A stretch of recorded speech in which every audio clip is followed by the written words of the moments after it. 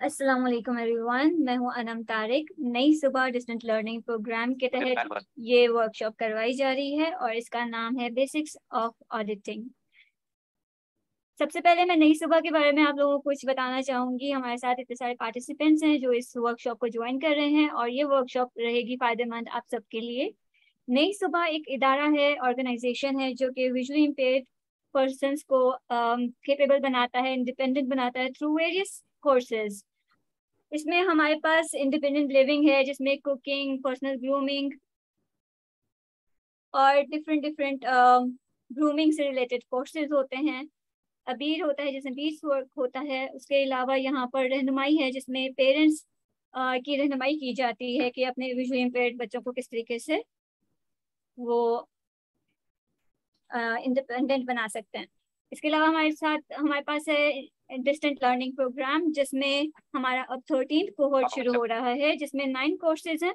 In nine courses में से आप किसी भी टू कोर्सेज में एनरोल कर सकते हैं। रजिस्ट्रेशन ओपन हो चुकी है और सिक्सटीन को ये रजिस्ट्रेशन क्लोज हो जाएगी। ट्वेंटी सिक्स सेप्टेम्बर से क्लासेस स्टार्ट हो जाएँगी तो मैं आप सबसे उम्मीद करती हूँ कि टाइमली आप लोग इनरोल कर लें इन इंटरेस्टिंग कोर्सेज में।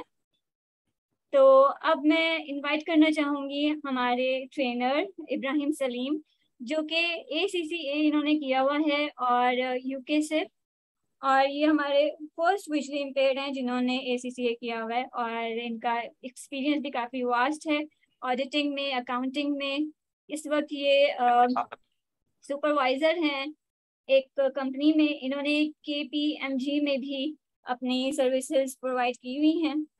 और सलीम को मैं इब्राहिम सलीम को मैं इनवाइट करूँगी और Ibrahim Salim over to you अस्सलाम वालेकुम एम आई ऑडिबल यस अस्सलाम वालेकुम मेरा नाम इब्राहिम सलीम है and first of all thank you so much miss Anam and first of all thanks to the entire faculty at Nayi Subah for providing me this opportunity ताकि मैं यहाँ पे अपनी skills को conduct कर सकूँ। uh, I am very thankful for Naisaba for inviting me for this two-day workshop on the basics of auditing.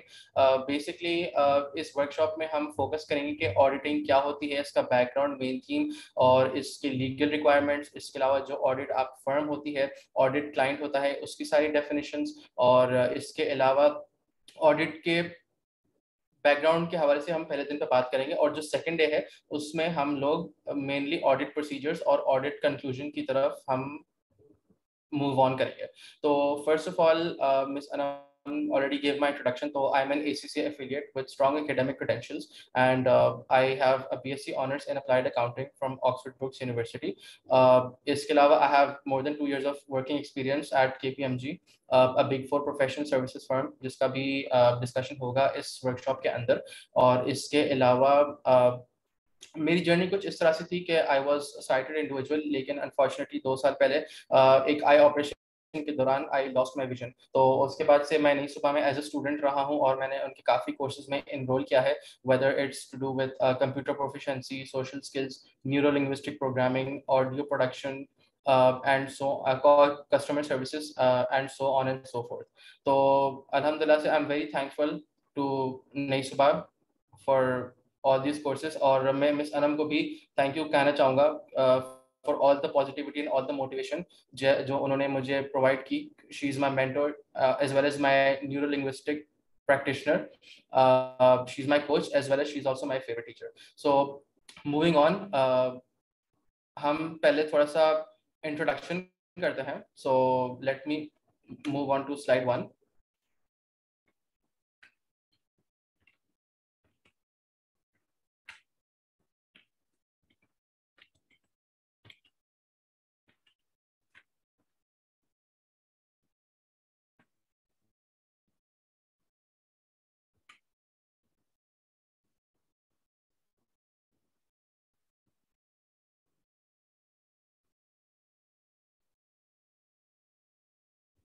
सबसे पहले मैं ये बात करना चाहूँगा कि हम लोग ऑडिट के बारे में बात करते हैं। तो ऑडिट से एक स्टेप पहले होता है ऑब्वियसली आपकी अकाउंटिंग अब अकाउंटिंग की भी वर्कशॉप्स नई सुबह में कंडक्ट की गई थी बाय सर अहमद फराज तो उनके मैं कुछ टॉपिक्स की पहले मैं रिकैप या रिविजन करना चाहूँगा ताकि हमें एक क्लैरिटी मिल जाए। अच्छा वैसे मैं सबसे ये भी पूछना चाहूँगा कि आप लोगों के पास आ, किसके पास अकाउंटिंग का थोड़ा बैकग्राउंड है या जिन्होंने अकाउंटिंग की वर्कशॉप अटेंड की थी? तो उनसे भी मैं ये सवाल पूछना चाहूँगा। क्योंकि अकाउंटिंग के बाद अकाउंटिंग की रिपोर्टिंग होती है, जो कि फाइनेंशियल स्टेटमेंट्स में होती है। अब financial statements include your income statement your balance sheet your statement of cash flows statement of changes in equity and notes to the financial statements तो मैं सबसे पहले ये पूछना चाहूँगा कि सर अहमद फराज ने अपनी जो वर्कशॉप थी, उसमें उन्होंने मेंशन किया था एक बीमारी के बारे में। तो अगर कोई मुझे बता सके कि ये बीमारी क्या थी, और मैं चाहूँगा कि सब लोग इस पर एक्टिवली पार्टिसिपेट करें और अपने अपने आंसर दें। बेशक गलत हों, लेकिन I really want all of you to participate और आई एम श्योर कि इस वर्कशॉप में आप लोगों को बहुत कुछ सीखने को मिलेगा। इसकी रिविजन थोड़ा सा इंपॉर्टेंट है क्योंकि इसके बगैर हम आगे मूव ऑन नहीं कर सकते क्योंकि हमारा फोकस तो ऑडिट पे है विच इज़ फाइनेंशियल ऑडिट लेकिन उससे पहले हमें अकाउंटिंग का भी थोड़ा सा नॉलेज होना चाहिए। तो ओवर टू यू गाइज़ आप लोग अपने माइक्स अनम्यूट करें, मुझे बताइए कि वो बीमारी का नाम क्या था और उसके बारे में बताएँ मुझे। आप आंसर देके अपना माइक म्यूट कर दें। जी अस्सलाम वालेकुम सलीम ताहिर अल्सर। वालेकुम सलाम सलीम ताहिर साहब। अस्सलाम वालेकुम तकदीर सगीर। अल्सर अल्सर का बताया था ए फॉर एसेट और L for liability C for credit sorry वो capital. आगे मैं भूल गई। सी फॉर कैपिटल और मेरे अभी जहन में ही था मुझे भूल गया थोड़ा सा। सलीम ताहिर आप कुछ ऐड करना चाह रहे हैं इसमें? आप आप नहीं बस मैं यही कह रहा था कैपिटल ही बता रहा था। Uh, जी बिल्कुल। Uh, कोई और इसमें ऐड करना चाहेगा? इक्विटी और revenue okay it's actually expenses क्योंकि इक्विटी भी आपकी इन uh, मतलब रेवेन्यू के अंदर ही इनकम के हेड में आपकी कवर हो रही होती है। तो बेसिकली मैं यही बताना चाहूँगा कि जो बीमारी थी उसका नाम था ALCER A L C E R assets liabilities capital expenses and your revenue this is the backbone for your financial statement और हमारा जो फाइनेंशियल ऑडिट होता है ये भी इन्हीं पाँच एलिमेंट्स के आगे रिवॉल्व करता है। अच्छा अब कोई मुझे क्विकली बता दे कि एसेट्स की एग्ज़ाम्पल एक लाइबिलिटी एक्सपेंसेस कैपिटल रेवेन्यू सबकी एक एक छोटी छोटी सी एग्ज़ाम्पल को मुझे बताए। Assets like the things that a business owns जैसा कि बिल्डिंग हो सकती है, उसके अंदर आपकी आपकी फैक्ट्री हो जाती है। बेसिकली जो आपकी फिक्स रहने वाली चीज़ होती है आपके पास लॉन्ग टर्म में रहती है। And liability is something that you have to pay that the business has to pay जैसे आपने किसी से अगर लोन लिया ठीक है वेरी गुड वापस करना है कुछ ऐसे में तो वो एक लाइबिलिटी होगा। एग्जैक्टली लाइकवाइज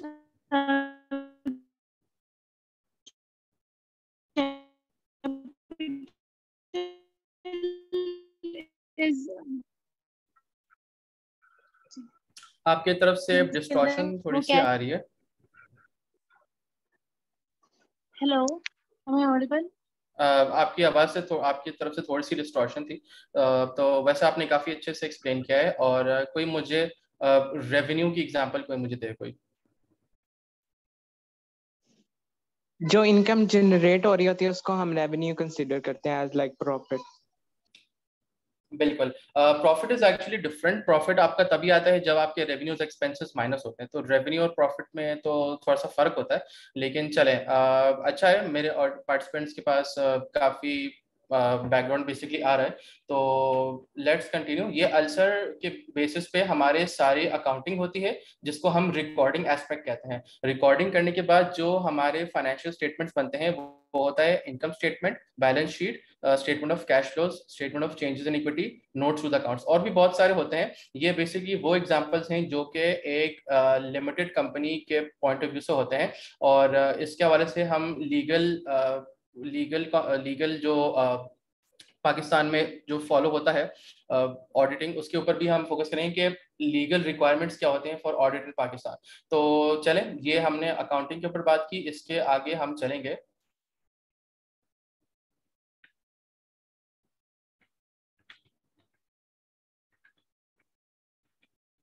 अच्छा अब हम ये करेंगे कि ऑडिट एक्चुअली होता क्या है? ऑडिट हम क्यों करते हैं? ऑडिट क्यों करवाया जाता है? एक तो ऑब्वियसली आपकी लीगल रेगुलेशन होती है लेकिन अगर आप ऑडिट की बेसिक डेफिनेशन भी देखो ना तो ऑडिट का मतलब यही होता है कि किसी चीज़ की इंस्पेक्शन करना किसी भी चीज़ को चेक करना और उस पर एक अश्योरेंस देना कि ये जो कोई भी चीज़ है इसकी आप उस चीज़ आप कितना रिलाई कर सकते हो।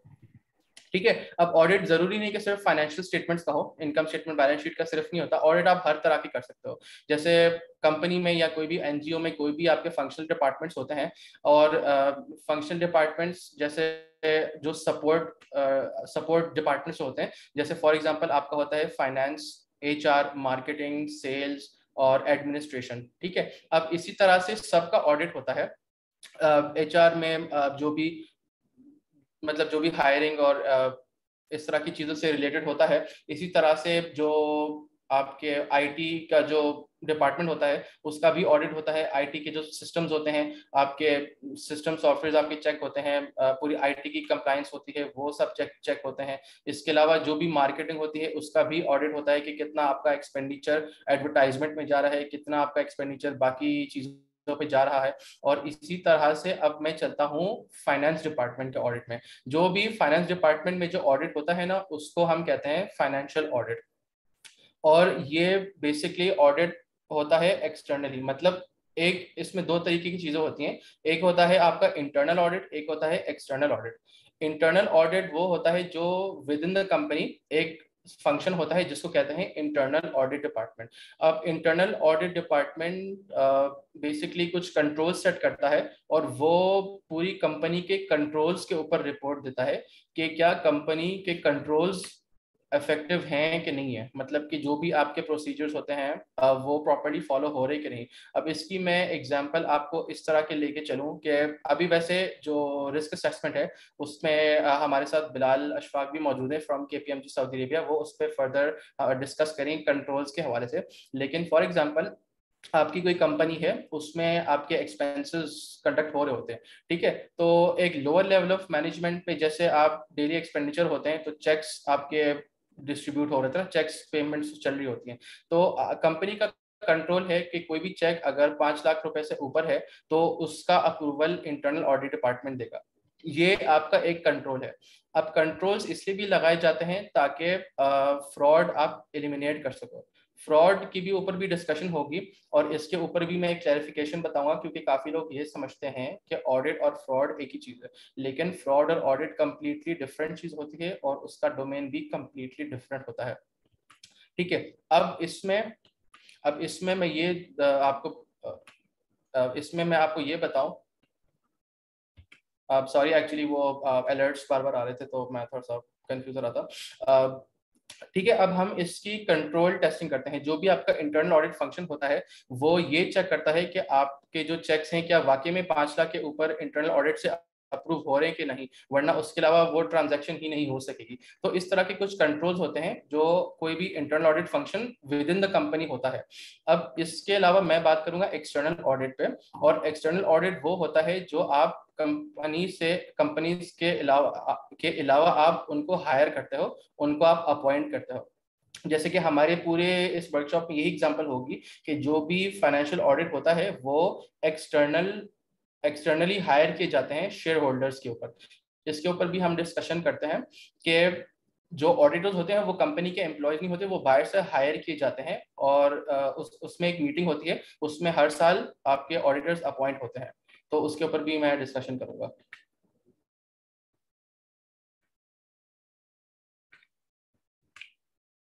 ऑडिट वैसे आप अगर देखो ना तो ऑडिट हर चीज़ की हो सकती है। ऑडिट आपकी डेली लाइफ में भी होती है। जैसे फॉर एग्जांपल अगर मैं बोलूँ कि आपके जो घर में भी आप एक तरह से ऑडिट भी चल रहा होता है। बहुत ही मैं बेसिक एग्जांपल कोट कर जैसे कि आपका किचन है तो उसमें बेसिकली जो मैनेजमेंट होती है, जैसे आप चेक करते हो कि आपके सारे फ्रूट्स एंड वेजिटेबल्स हैं, आप अपनी कटरीज वो सारी चीज़ें आप चेक करते हो। अच्छा वैसे कुकिंग के के बारे में भी ये मैं बताना चाहूँगा कि नई सुबह का टाइम आउट एक वेंचर है time out lunch in the box और इसके हवाले से भी आप लोग भी डिटेल्स मालूम कर सकते हैं। तो going back to this example तो इसी तरह से आप हर महीने के एंड पे ग्रॉसरी होती है और आप चेक करते हो कि आपके पास कोई भी फ्रूट्स वेजिटेबल्स आपके पास कम तो नहीं हो रहे। आप उसको चेक करते हो, फिर आप को पता होता है कि ये चीज़ें कम हो रही हैं तो उसका आप ऑर्डर प्लेस करते हो फॉर एग्जांपल तो इसमें भी आप ऑडिट करते हो। आप अपने कमरे में भी ऑडिट कर रहे होते हो। आप चेक करते हो कि सारी चीज़ें आपकी प्रॉपर प्लेस में है। आप देखते हो कि जो भी पेपर पेन्स होती हैं और जो भी कोई चीज़ होती है तो आप फिर जाके आप उसको परचेज कर देते हो। फॉर एग्ज़ाम्पल तो ये वैसे बेसिक एग्ज़ाम्पल है कि ऑडिट इसका मकसद बताने का ये है कि ये ज़रूरी नहीं कि ऑडिट सिर्फ़ और सिर्फ़ फाइनेंशियल स्टेटमेंट्स का होता है। लेकिन हमारी जो ऑडिट है हमारा जो वर्कशॉप है वो फाइनेंशियल स्टेटमेंट्स के ऊपर रिवॉल्व करेगी। अब मैं एक प्रैक्टिकल एग्ज़ाम्पल आपको आपके साथ शेयर करता हूँ। इससे पहले मैं पूछना चाहूँ कि आपके पास कोई सवाल हैं? अभी तक जो आपको समझ आई है।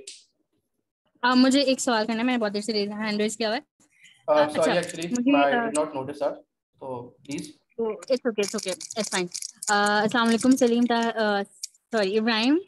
This is Rida Uh, मुझे एक सवाल ये करना था कि uh, जैसे कि इंटरनल ऑडिट तो हम लोग करते हैं ताकि हमें अपनी स्टेटमेंट्स पता चल सके ठीक है? तो लेकिन जो एक्सटर्नल ऑडिट है उसकी इम्पोर्टेंस क्या है? उसकी इम्पोर्टेंस ये होती है क्योंकि हम इसको एक एक्सटर्नल सोर्स से वेरीफाई कर रहे होते हैं। एक तो आपकी लीगल रिक्वायरमेंट्स होती है और इसके ये भी रीजन होता है। मेन चीज़ है आपकी इंडिपेंडेंस क्योंकि अगर आप का हालाँकि इंटरनल ऑडिट डिपार्टमेंट भी सेपरेटली फ़ंक्शन करता है। इसी तरह से जो आपके फाइनेंशियल स्टेटमेंट्स का ऑडिट होता है वो आप एक्सटर्नली हायर करते हो बिकॉज़ ऑफ़ लीगल रिक्वायरमेंट और ये शेयर uh, होल्डर्स के पॉइंट ऑफ़ व्यू से ये चीज़ होती है। अगर आप लिमिटेड कंपनी की आप बात करें तो शेयर होल्डर्स ये ऑडिटर्स को अपॉइंट करते हैं। क्योंकि शेयर होल्डर्स का पैसा इस कंपनी में लगा हुआ होता है। तो दे नीड अश्योरेंस के इस कंपनी में हमारा पैसा लगा हुआ है। तो क्या हम इस कंपनी के अकाउंट्स पे रिलाई कर सकते हैं या नहीं? ये मेन आपका कॉन्सेप्ट होता है। अगर कंपनी इंटरनली अपने अकाउंट्स वैसे बनाती है मैनेजमेंट अकाउंट्स होते हैं, वो सारी चीज़ें होती हैं, लेकिन अगर आप खुद ही अकाउंट्स आप बनाते हो और खुद ही उस अकाउंट्स को आप रिव्यू करके अश्योरेंस देते हो तो ये वैसे एक कॉन्फ्लिक्ट ऑफ़ इंटरेस्ट हो जाता है। या तभी इसमें सेग्रीगेशन ऑफ़ ड्यूटीज़ या एक एथिकल कॉन्स्टेंट होता है, जिसको कहते हैं सेल्फ रिव्यू थ्रेड मतलब अगर आप खुद ही सोचें कि अगर आप अपना काम खुद करें और उसी को रिव्यू करें तो शायद ऐसा हो सकता है कि आप अपनी गलती ना निकाल सकें। लेकिन अगर आप किसी तीसरे बंदे से आप गलती आप अपनी चेक करवाते हो काम तो हो सकता है कि उसके उस वो गलतियाँ निकाले जो आपसे शायद ओवरलुक हो गई हो। तो ये एक कॉन्सेप्ट होता है एथिकल कॉन्स्टेंट्स ये हम डे टू में लेके चल रहे होंगे। It's called self review threat okay अगर आपने आपने कोई भी काम किया तो आप उसमें से शायद वो गलतियाँ नहीं निकाल पाओगे जो एक थर्ड पर्सन आपकी गलती निकाल सकेगा। तो ये इसका कोर कॉन्सेप्ट होता है।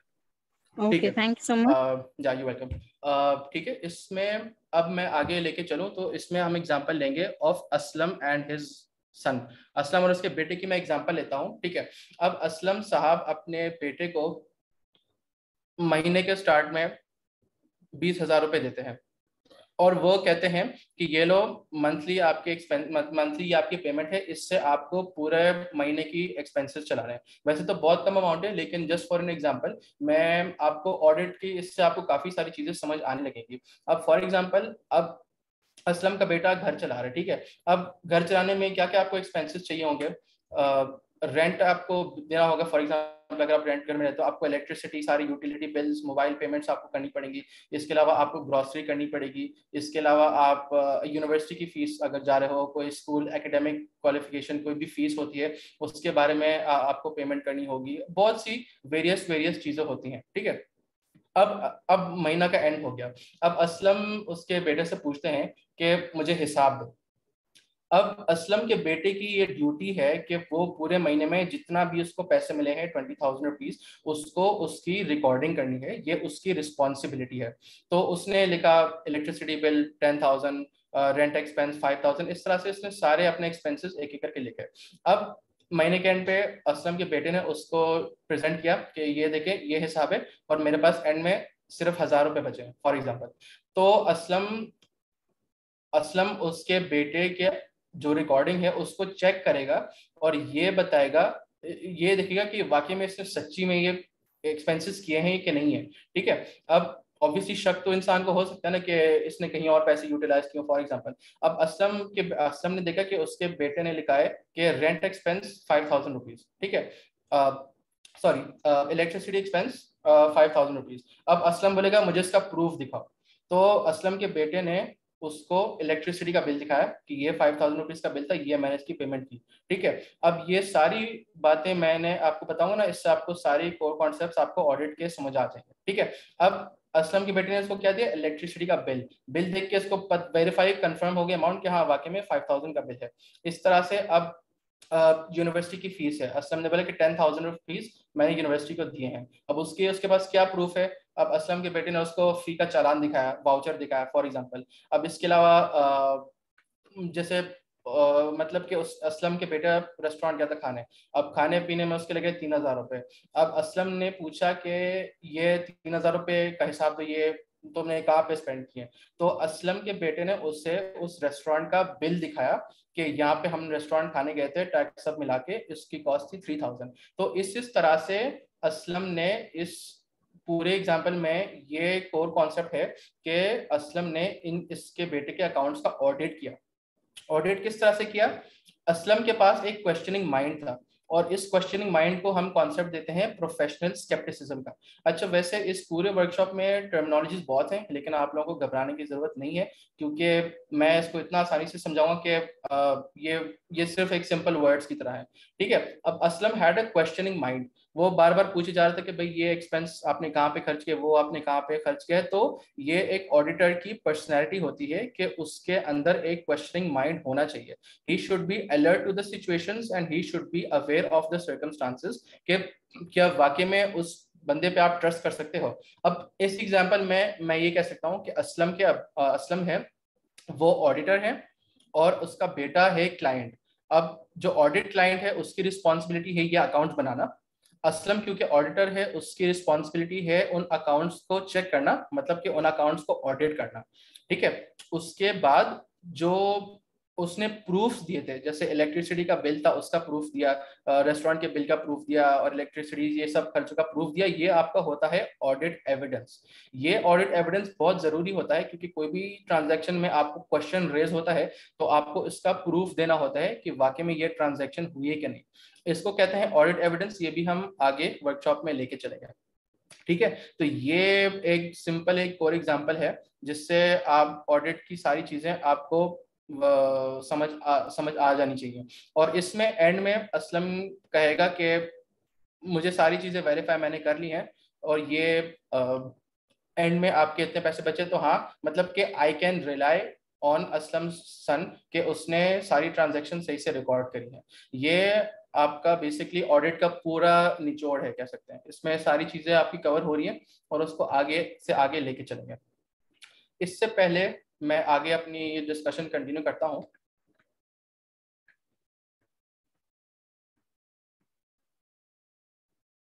इसी में, इसी एग्जांपल में मैंने कॉन्सेप्ट ऑफ़ ऑडिट फर्म और ऑडिट क्लाइंट को भी मैंने एक्सप्लेन किया है और मैं इसमें फर्दर दो तीन चीज़ें ऐड करना चाहूँगा। ऑडिट फर्म आपकी एक्सटर्नल होगी और क्लाइंट होगा आपका ऑफ़िस अब इस एग्ज़ाम्पल वैसे मैंने भी काफ़ी कंपनीज़ में ऑडिट किया था तो उसमें मैं कहूँगा कि E F U general insurance E F U मेरा होगा ऑडिट क्लाइंट वहाँ पे ई एफ़ यू में जो भी अपने अकाउंट्स प्रिपेयर करेगा ई एफ़ यू की रिस्पॉन्सिबिलिटी है कि वो अपने फाइनेंशियल स्टेटमेंट्स प्रिपेयर करेगा और जो ऑडिटर होगा ऑडिटर की रिस्पॉन्सिबिलिटी होगी उन अकाउंट्स को चेक करना, ठीक है? और ये है कि जो ऑडिटर होते हैं, वो ऑडिट फर्म के पेरोल पे होते हैं। मतलब कि जैसे मैं केपीएमजी में काम करता था तो मैं केपीएमजी का एम्प्लॉय था ईएफयू जनरल का एम्प्लॉय में नहीं था। इसका मतलब कि I am working for KPMG लेकिन ईएफयू के के क्लाइंट पे मुझे पोस्ट किया गया तो मैं वहाँ पे केपीएमजी को रिप्रेजेंट करूँगा। पैसे मुझे केपीएमजी देगा, मुझे ईएफयू से कोई पैसे, इससे ये कॉन्सेप्ट आता है इंडिपेंडेंस का। इसका मतलब ये है कि मैं उस कंपनी का रिप्रेजेंटेटिव नहीं हूँ, मैं अपनी ऑडिट फर्म का रिप्रेजेंटेटिव हूँ। तो इसमें आपकी इंडिपेंडेंस का भी एक कॉन्सेप्ट कवर होता है और मैंने अभी मिस रजा को भी यही मैंने एक्सप्लेन किया था कि किसी थर्ड पर्सन को हायर करने का भी यही रीजन होता है कि यू नीड इंडिपेंडेंस ठीक है? इंटरनल वर्सेस एक्सटर्नल ऑडिट भी इसी में ही मैंने कवर कर लिया है। अब इसमें मैं थोड़ा सा एग्ज़ाम्पल ऐड करना चाहूँगा। Of big four and big six firms in Pakistan अब आपका ऑडिट क्योंकि फाइनेंशियल स्टेटमेंट्स पे होता है तो कंपनीज़ ऑडिट फर्म की जो कंपनीज़ हैं, उनकी कोई रेप्यूटेशन होती है। जैसे कि पाकिस्तान में, बल्कि वर्ल्ड वाइड भी एक टर्म यूज़ होता है बिग फोर के नाम से। इसका मतलब कि ये टॉप फोर जायंट्स होते हैं जो कि आपकी ऑडिट इंडस्ट्री को रूल करती है। मतलब ये जो भी आपकी बड़ी बड़ी मल्टीनेशनल जो लिस्टेड कंपनीज़ होती हैं, जैसे लकी सीमेंट हो गया ई एफ़ यू जनरल हो गया, इस तरह से के इलेक्ट्रिक मतलब जुबली लाइफ इंश्योरेंस जो सारी मेजोरिटी बैंकिंग सेक्टर जैसे Dubai Islamic Bank National Bank of Pakistan Standard Chartered ये जो सारी जो लिमिटेड कंपनीज़ होती हैं ये हमेशा 90 परसेंट बिग फोर से ही ऑडिट करवाते हैं।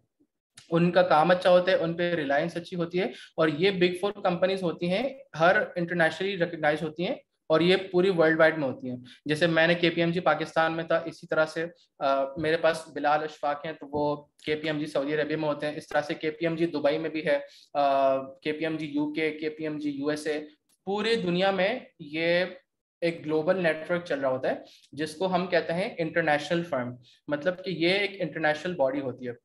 और इसी तरह से ये इंटरनेशनल बॉडीज आपको लोकल लोकल uh, फर्म्स के नाम से भी होती है। जैसे के इंटरनेशनल है तो पाकिस्तान में इसको कहा जाता है K P M G Taseer Hadi and company. ये एक लोकल फर्म है which represents K P M G international इसी तरह से चार बिग फोर फर्म्स के नाम है। एक है P Price water house coopers जो कि पाकिस्तान में नॉर्मली टर्न होता है A F Ferguson and company chartered accountants second is E Y Ernst and Young और यहाँ पे इसका नाम होता है E Y Ford Rhodes the third is K P M G जहाँ पे मैं अपना ऑडिट की सर्विसेज़ देता था. And the last is Deloitte Deloitte and to shape ये सारे यूके बेस्ड फर्म्स हैं और K P M G Netherlands based firm है. तो ये हो गया आपके बिग फोर इसी तरह से हम आगे चलते हैं तो बिग सिक्स भी आता है बिग बिग टेन भी आता है। अब बिग सिक्स में दो और कंपनीज़ आती हैं बीडीओ के नाम से। बीडीओ है और एक है जीटी मतलब ग्रैंड थॉर्टन इसके अलावा पाकिस्तान में और भी काफ़ी फर्म्स होती हैं लोकल फर्म्स जैसे शेखा मुफ्ती है बेकर टिल्ली है, और इसी तरह से जैसे मेरी खुद की ऑडिट फर्म जहाँ पे मैं अब काम कर रहा हूँ that is Khilji and company chartered accountants वहाँ पे मैं सुपरवाइजर के रोल्स एंड रिस्पॉन्सिबिलिटीज फुलफिल कर रहा हूँ। तो इस इस इस इस चीज़ को मैंशन करना इसलिए ज़रूरी है, क्योंकि ये आपके सारे लोकल फर्म्स हैं और बिग फोर है, वो टॉप फोर में आपके आ रहे होते हैं। तो नॉर्मली जो भी शेयर होल्डर्स होते हैं, वो चाहेंगे कि अपना और अपनी कंपनी का ऑडिट बिग फोर से करवाएँ। बिग फोर से करवाएँ ताकि उस पर रिलायंस अच्छी हो और उसका एक मार्केट में नाम होता है। ठीक है, अब यहाँ पे किसी के सवाल हैं, फिर मैं आगे अपनी डिस्कशन लेकर चलता हूँ।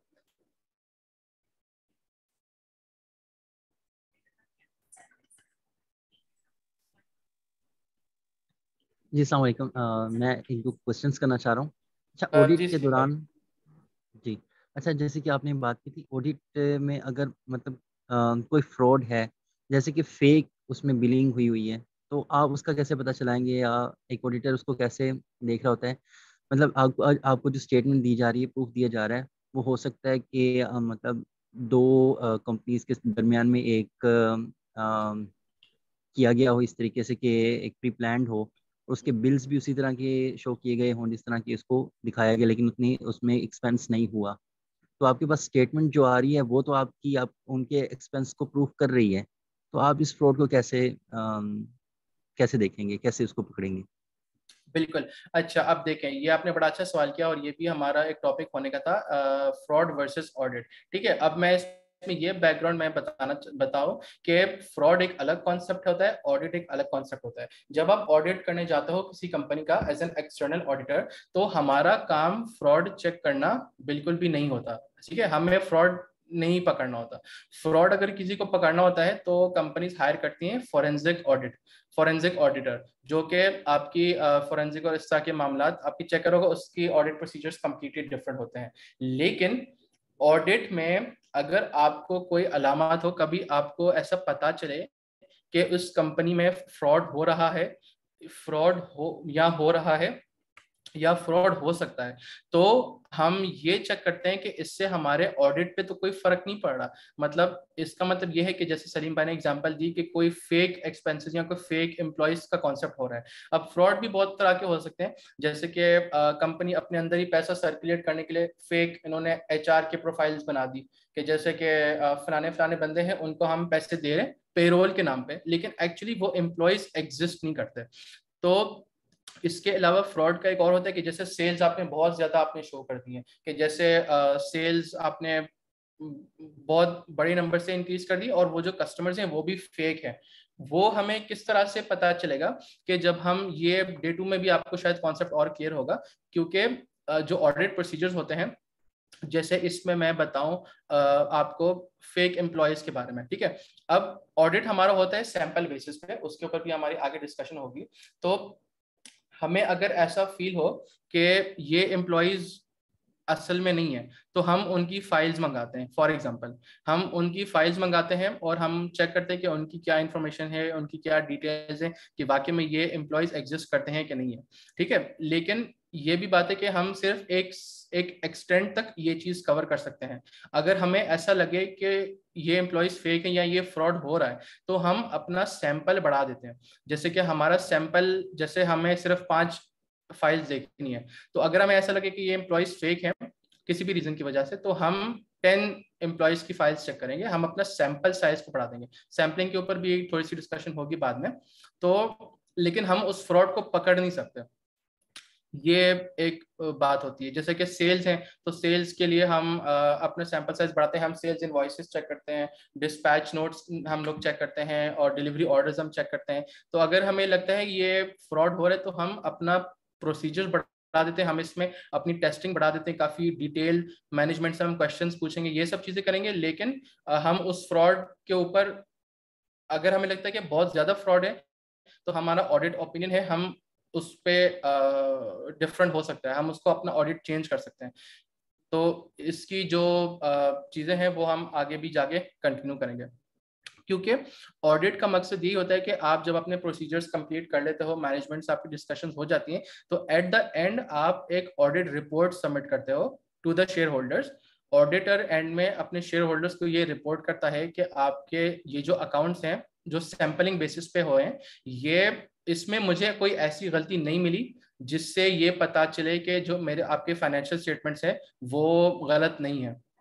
इसको अगर मैं इंग्लिश में ट्रांसलेट करूँ तो इसको ये कह सकते हैं कि nothing has come to our attention that causes us to believe that the financial statements are not materially misstated मतलब they are not presenting a true and fair view in all material aspects ये English का एक बहुत बड़ा jargon है, लेकिन इसके ऊपर भी हम आगे जाके डिस्कशन करेंगे।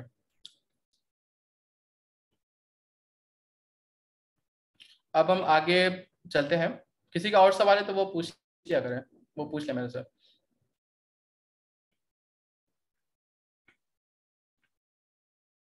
अब हम बढ़ते हैं legal and statutory compliance of audit in Pakistan अब पाकिस्तान में क्या है कि जो आपकी लिस्टेड कंपनीज़ होती हैं कीजिएगा ये वर्डिंग मुझे समझ नहीं आई।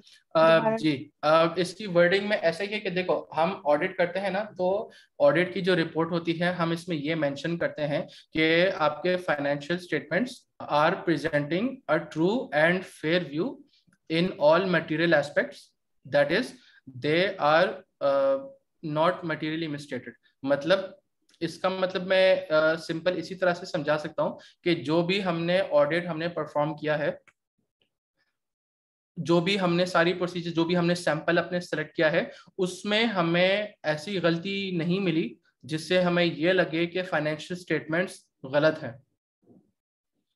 क्योंकि हम 100 परसेंट ट्रांजेक्शन चेक बिल्कुल नहीं कर सकते। मतलब इतनी बड़ी बड़ी कंपनीज़ होती हैं फोर बिलियन की बैलेंस शीट होती है, इतने अरबों की बैलेंस शीट्स होती हैं तो हम एक एक रुपया को वेरीफाई नहीं कर सकते। हम अपना सैंपल हम अपना ऑडिट करते हैं सैम्पलिंग सैम्पलिंग बेसिस पे। और उस सैंपल के ऊपर हम अश्योरेंस देते हैं कि ये जो फाइनेंशियल स्टेटमेंट्स का जो हमने सैंपल सेलेक्ट किया है, उसमें हमें कोई ऐसी गलती नहीं मिली, जिससे हमें ऐसा लगे कि पूरे फाइनेंशियल स्टेटमेंट्स गलत है। मतलब वो सही से नहीं बने हुए हैं। तो ऐसी जब रिपोर्ट आती है तो शेयर होल्डर्स को एक रीजनेबल एश्योरेंस या एक उनको कॉन्फिडेंस मिलता है कि मैंने अपना पैसा इस लिस्टेड कंपनी में लगाया है तो मेरा पैसा मतलब सही इट्स uh, सिक्योर मतलब एक सर्टेन लेवल तक आप एश्योरेंस दे सकते हो कि जो आपका पैसा सिक्योर्ड है। मतलब आपकी जो कंपनी का अकाउंट्स है वो सही से बने। उसमें इतनी कोई गलती नहीं है। तो ये आ, हम कॉन्सेप्ट लेके जाएँगे audit opinion on audit conclusion में। तो ये आ, इसकी थोड़ी सी डिस्कशन है। अब हम बढ़ते हैं legal requirements of audit in Pakistan अब चाहे वो पाकिस्तान हो, चाहे वो पूरी दुनिया में कोई भी लिस्टेड कंपनी हो लिस्टेड कंपनी वो होती है जो कि स्टॉक एक्सचेंज पे लिस्टेड होती है, वहाँ पे शेयर होल्डर्स का पैसा लगा हुआ होता है। और वहाँ पे पब्लिकली आप शेयर्स बाय एंड सेल कर सकते हो। उन कंपनीज़ में तो hundred percent audit is compulsory इसके अलावा प्राइवेट लिमिटेड कंपनी अच्छा अब आप ये ना सोचें कि प्राइवेट कंपनी जैसे कोई भी हो और एक होता है लिस्टेड कंपनी लेकिन उसको ये भी कह सकते हैं पब्लिक लिमिटेड कंपनी लेकिन पब्लिक कंपनी का मतलब ये नहीं है कि जो गवर्नमेंट के दायरे होते वो नहीं है। तभी मैं यूज़ कर रहा हूँ लिस्टेड कंपनी और एक होता है प्राइवेट लिमिटेड कंपनी जो कि शेयर्स आपके आ, मतलब ओनर मैनेज कंपनीज़ होती हैं।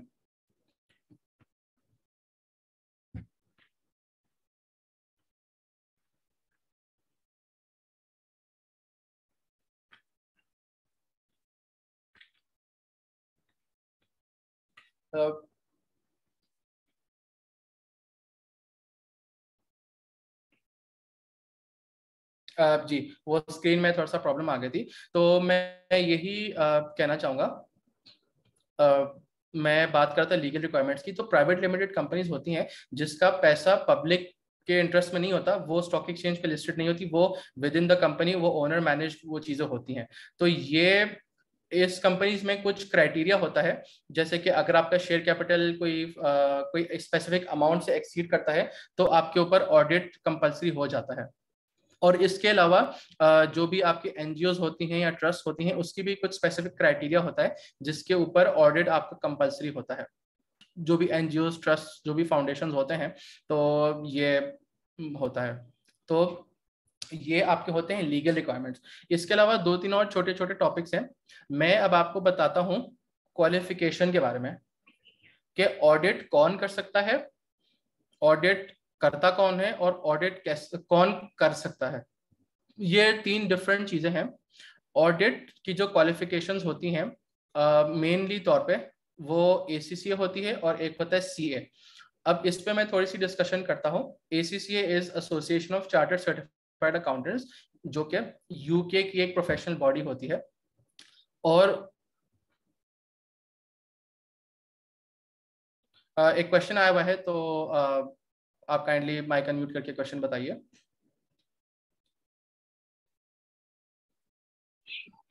हेलो हेलो हेलो मैं थोड़ा सा सर पीछे से क्वेश्चन करना है बट मेरा इंटरनेट सही नहीं था। No problem Yeah. Are there any companies that are exempted from audit? Like, uh, if they don't need any audit, जैसे कि कुछ small businesses वगैरह होते हैं तो मतलब कंपनी किस लेवल पे होगी तो हम कहेंगे कि इसको ऑडिट की ज़रूरत कंपलसरी है लाइक like वो लिस्टेड हो एक तो ये रिक्वायरमेंट है और इसके अलावा भी कुछ होता है इसमें मैं ये बताऊँ कि स्मॉल जो कंपनीज़ होती है ना उसमें कंपलसरी बिल्कुल भी नहीं होता। जैसे स्मॉल स्टार्टअप्स होती हैं पार्टनरशिप कंपनीज़ होती हैं इस तरह से उसमें ऑडिट कंपलसरी नहीं होता। अगर आप करवाना चाहते हो तो इट्स वॉलेंट्री प्रैक्टिस मतलब it's up to you if you want to conduct audit और नॉट लेकिन जो जो ऑडिट की रिक्वायरमेंट होती है जो प्राइवेट लिमिटेड कंपनीज़ होती है उसमें एक स्पेसिफिक अमाउंट होती है। I am not really sure of the amount लेकिन फॉर एग्ज़ाम्पल अगर आपकी टोटल कैपिटल uh, आपका कुछ फलाने मिलियन से एक्सीड कर रहा है फॉर एग्ज़ाम्पल तब आपके ऊपर ऑडिट रिक्वायरमेंट आप पे कंपल्सरी हो जाती है। लेकिन audit of listed companies is hundred percent mandatory this is you cannot exempt these companies exemption किसी पे नहीं होती ऑडिट की लेकिन वॉलेंट्री एंड मैंडेटरी प्रैक्टिस होती है। स्मॉल कंपनीज़ के लिए voluntary it's up to you लेकिन लिस्टेड कंपनीज़ के लिए hundred and one percent it's mandatory उसके बगैर आप कंपनी नहीं चला सकते मतलब इट्स कंपलसरी थिंग सर एक मेरा सवाल है यहाँ पे। एक आपने एसीसीएफ बताया ठीक है और एक आपने आपकी आवाज़ ब्रेक हो रही थी एक सीएफए का इंफॉर्मेशन दीजिएगा। वो सी ए है एक्चुअली सी एफ़ ए नहीं है। एक होता है सी ए और एक होता है ए सी सी है और इसके अलावा किसी का और भी है ना अब्रॉड में। वो नहीं सी बिल्कुल है, लेकिन वो कंप्लीटली डिफरेंट है। सी एफ़ ए आपका फाइनेंशियल एनालिस्ट के ऊपर होता है सर्टिफाइड फाइनेंशियल एनालिस्ट होता है, या चार्टर्ड फाइनेंशियल एनालिस्ट इस तरह से होता है। तो ये ऑडिट में नहीं आता, ये आपका आता है एडवाइजरी या फाइनेंशियल एडवाइजरी में ये चीज़ें आपकी आ रही होती है, जो कि हम आगे डिस्कस करेंगे। लेकिन जो स्पेसिफिकली ऑडिट से रिलेटेड चीज़ें होती हैं ऑडिट से रिलेटेड क्वालिफिकेशन है ना, वो मेजर दो हैं मेजर की बात कर रहा हूँ। बाकी सब्जेक्ट्स में भी आपको ऑडिट पढ़वाया जाता है, लेकिन सीए और ए में ऑडिट का मेजर पोर्शन होता है। किसी का और सवाल है?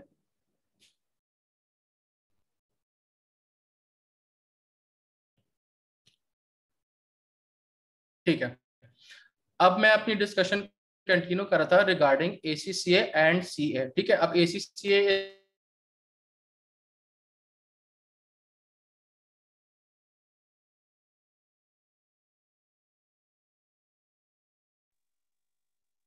सर, आपकी आवाज़ नहीं आ रही।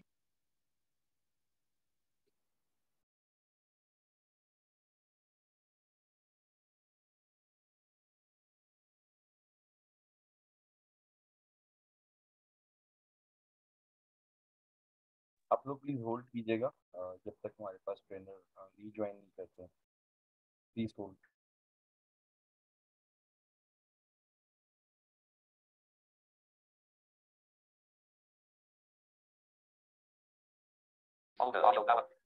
ओके इब्राहिम का शायद इंटरनेट का कुछ इशू आया है। सो so, अभी फिर वो दोबारा से ज्वाइन कर लेते हैं। असद पॉज करिएगा।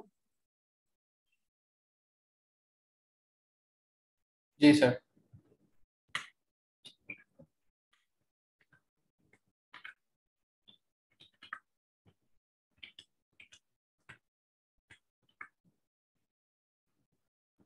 uh, ji. Sorry for the inconvenience and technical difficulties I hope everyone is able to hear me properly अच्छा.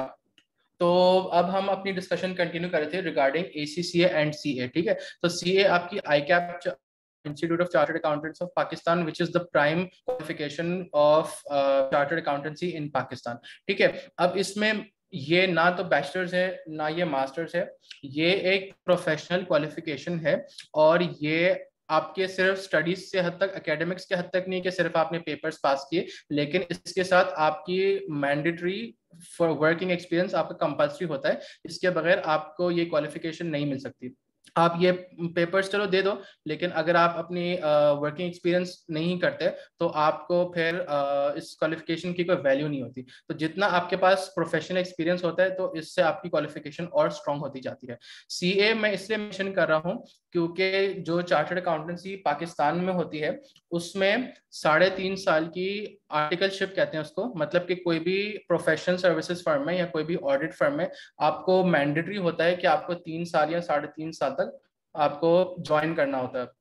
आपको साढ़े तीन साल तक कोई ऑडिट फर्म के साथ hello is my screen visible जी इब्राहिम अच्छा वो उसमें मुझे अलर्ट आ रहा था। तो इसलिए जो आप देखो, मैं, मैंने एसीसी किया था, मैं ऑडिट कर सकता हूँ, मैं टीम लीड कर सकता हूँ, मैंने ये सारी चीज़ें की हैं। लेकिन क्योंकि आई कैप की कुछ रेगुलेटरी रिक्वायरमेंट्स होती हैं तो मैं ऑडिट रिपोर्ट पे साइन नहीं कर सकता। इसका मतलब कि अगर मुझे अपनी ऑडिट कंपनी खोलनी है तो मैं नहीं खोल सकता, क्योंकि मेरे पास सीए की क्वालिफिकेशन नहीं है। इसका मतलब जिसको भी ऑडिट प्रैक्टिस करनी होती है, अपनी खुद की ऑडिट फर्म खोलनी है तो ये लाजमी है कि उसके पास सी ए चार्टर्ड अकाउंटेंसी की क्वालिफिकेशन होनी चाहिए। अगर उसने ए सी सी किया है या कोई और दूसरी, तीसरी क्वालिफिकेशन की है तो चलो, दूसरी कंट्रीज़ में शायद वो अपनी कंपनी खोल के या साइन कर सकता है। लेकिन वो पाकिस्तान में ऑडिट कंपनी नहीं खोल सकता unless and unless he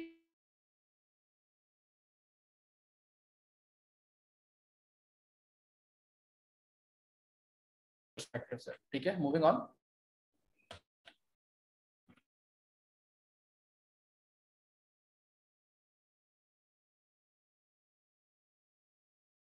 guarding CF है इसमें हाँ इब्राहिम आपकी आवाज़ कट रही है दरमियान में काफ़ी ज़्यादा। अब सही है? अब सही है? जी अब आप बोलेंगे तो पता चलेगा।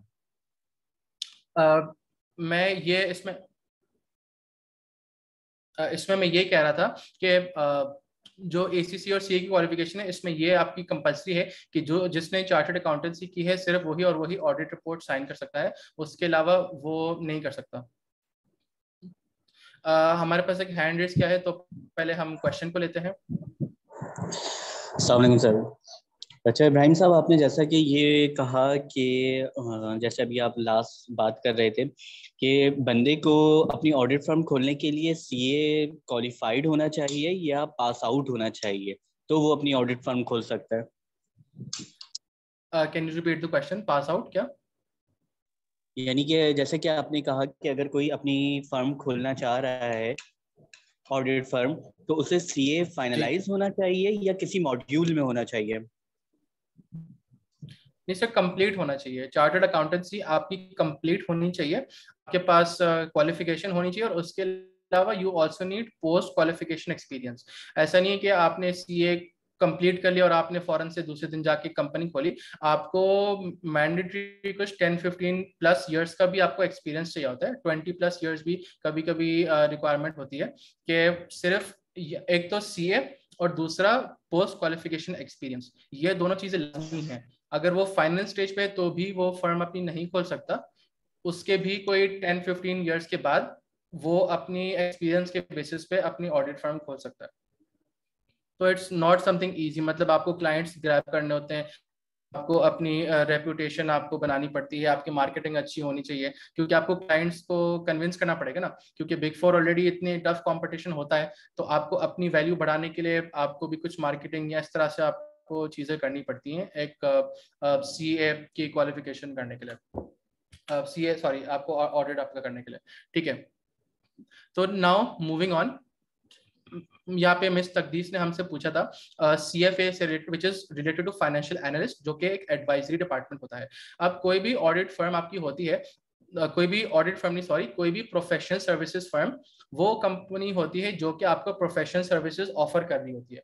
अब इस तरह से जैसे मैंने केपीएमजी एग्जांपल ली तो केपीएमजी में प्रोफेशनल सर्विसेज़ होते हैं ऑडिट की एडवाइजरी टैक्सेशन की होती है, और आईटी की सर्विसेज़ ये लोग देते हैं। अब ये सारी एक्सटर्नली ये लोग ऑफ़र करते हैं और जिन कंपनीज़ को ये सर्विसेज़ चाहिए होती हैं, वो लोग केपीएमजी से कांटेक्ट करते हैं।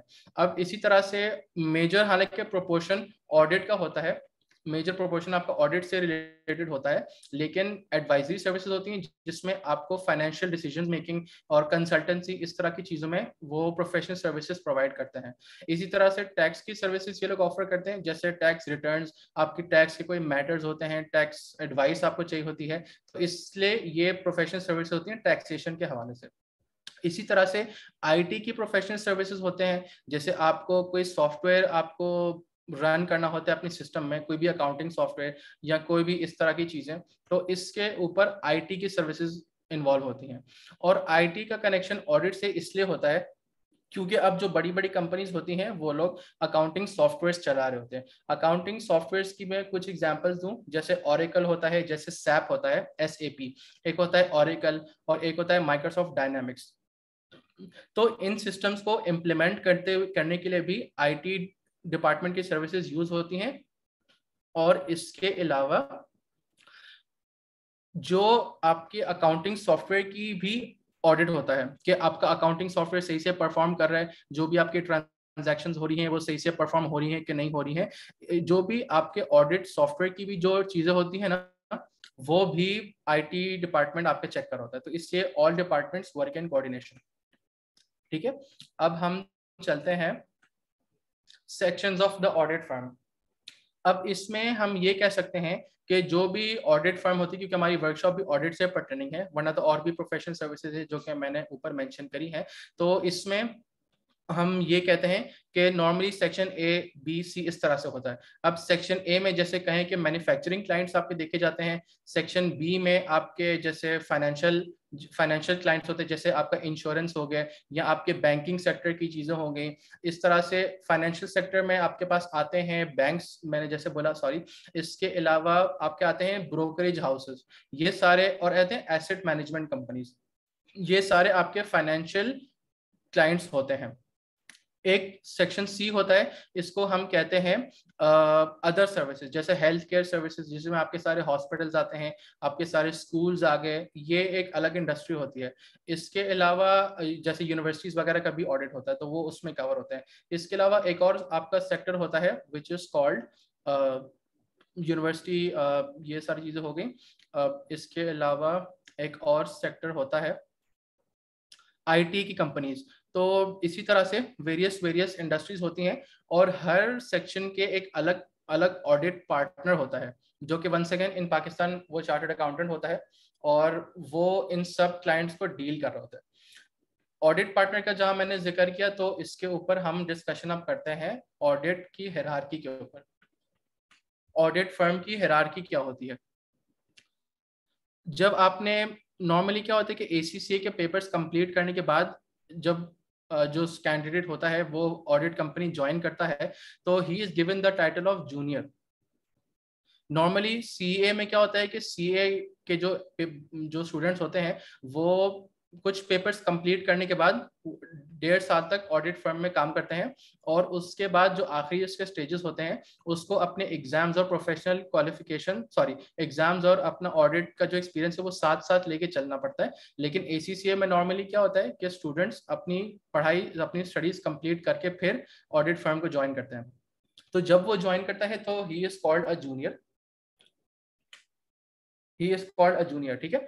इसके बाद जो नेक्स्ट uh, स्टेप होता है सेमाई सीनियर सेमाई सीनियर के बाद होता है सीनियर सीनियर के बाद होता है सुपरवाइजर सुपरवाइजर के बाद होता है assistant manager after assistant manager you have deputy manager deputy manager के बाद मैनेजर उसके बाद सीनियर मैनेजर उसके बाद डायरेक्टर उसके बाद पार्टनर अब आप ये देखें कि जो आपका ऑडिट पार्टनर होता है, वो सबसे हाईएस्ट लेवल होती है किसी भी ऑडिट फर्म के हेरारकी की। ऑडिट मैं वापस उसको उल्टा लेके चलता हूँ descending order partner director senior manager manager deputy manager assistant manager supervisor senior semi senior junior. ये टेन रैंक्स होते हैं, जूनियर सबसे लोवेस्ट रैंक होता है। तो इसी तरह से जो ऑडिट पार्टनर होता है, वो ही फिर सारे अपने ऑडिट इंगेजमेंट्स कंडक्ट कर रहा होता है। और ऐसा होता है कि कुछ सालों के बाद वो सीनियर में प्रमोट होता है, फिर उसके पास और एक्सपीरियंस आता है तो वो इसी तरह से ऊपर ऊपर ऊपर अपने एक्सपीरियंस है, वो आगे बढ़ रहा होता है। जैसे सुपरवाइजर होता है, फिर वो बड़े लेवल की चीज़ें देख रहा होता है। जैसे जो भी जूनियर लेवल पे ऑडिटर होता है, वो लोअर लेवल की मतलब प्रीलिमिनरी चीज़ें देख रहा होता है। इसके बाद जो आपका सेमाई सीनियर होता है, वो उससे एडवांस चीज़ें देख रहा होता है। जैसे जो सीनियर होता है वो नॉर्मली आपके कंपनी के अकाउंट्स देख रहा होता है। सुपरवाइजर का काम ये होता है कि वो ओवरऑल प्रोसेस देख रहा होता है और क्लाइंट से भी डिस्कशन करता है और अपने जो सबॉर्डिनेट्स होते हैं उसका काम रिव्यू करता है। अब जो मैनेजर होता है, वो सुपरवाइजर का काम रिव्यू कर रहा होता है, चाहे वो डेप्यूटी मैनेजर चाहे वो असिस्टेंट मैनेजर हो।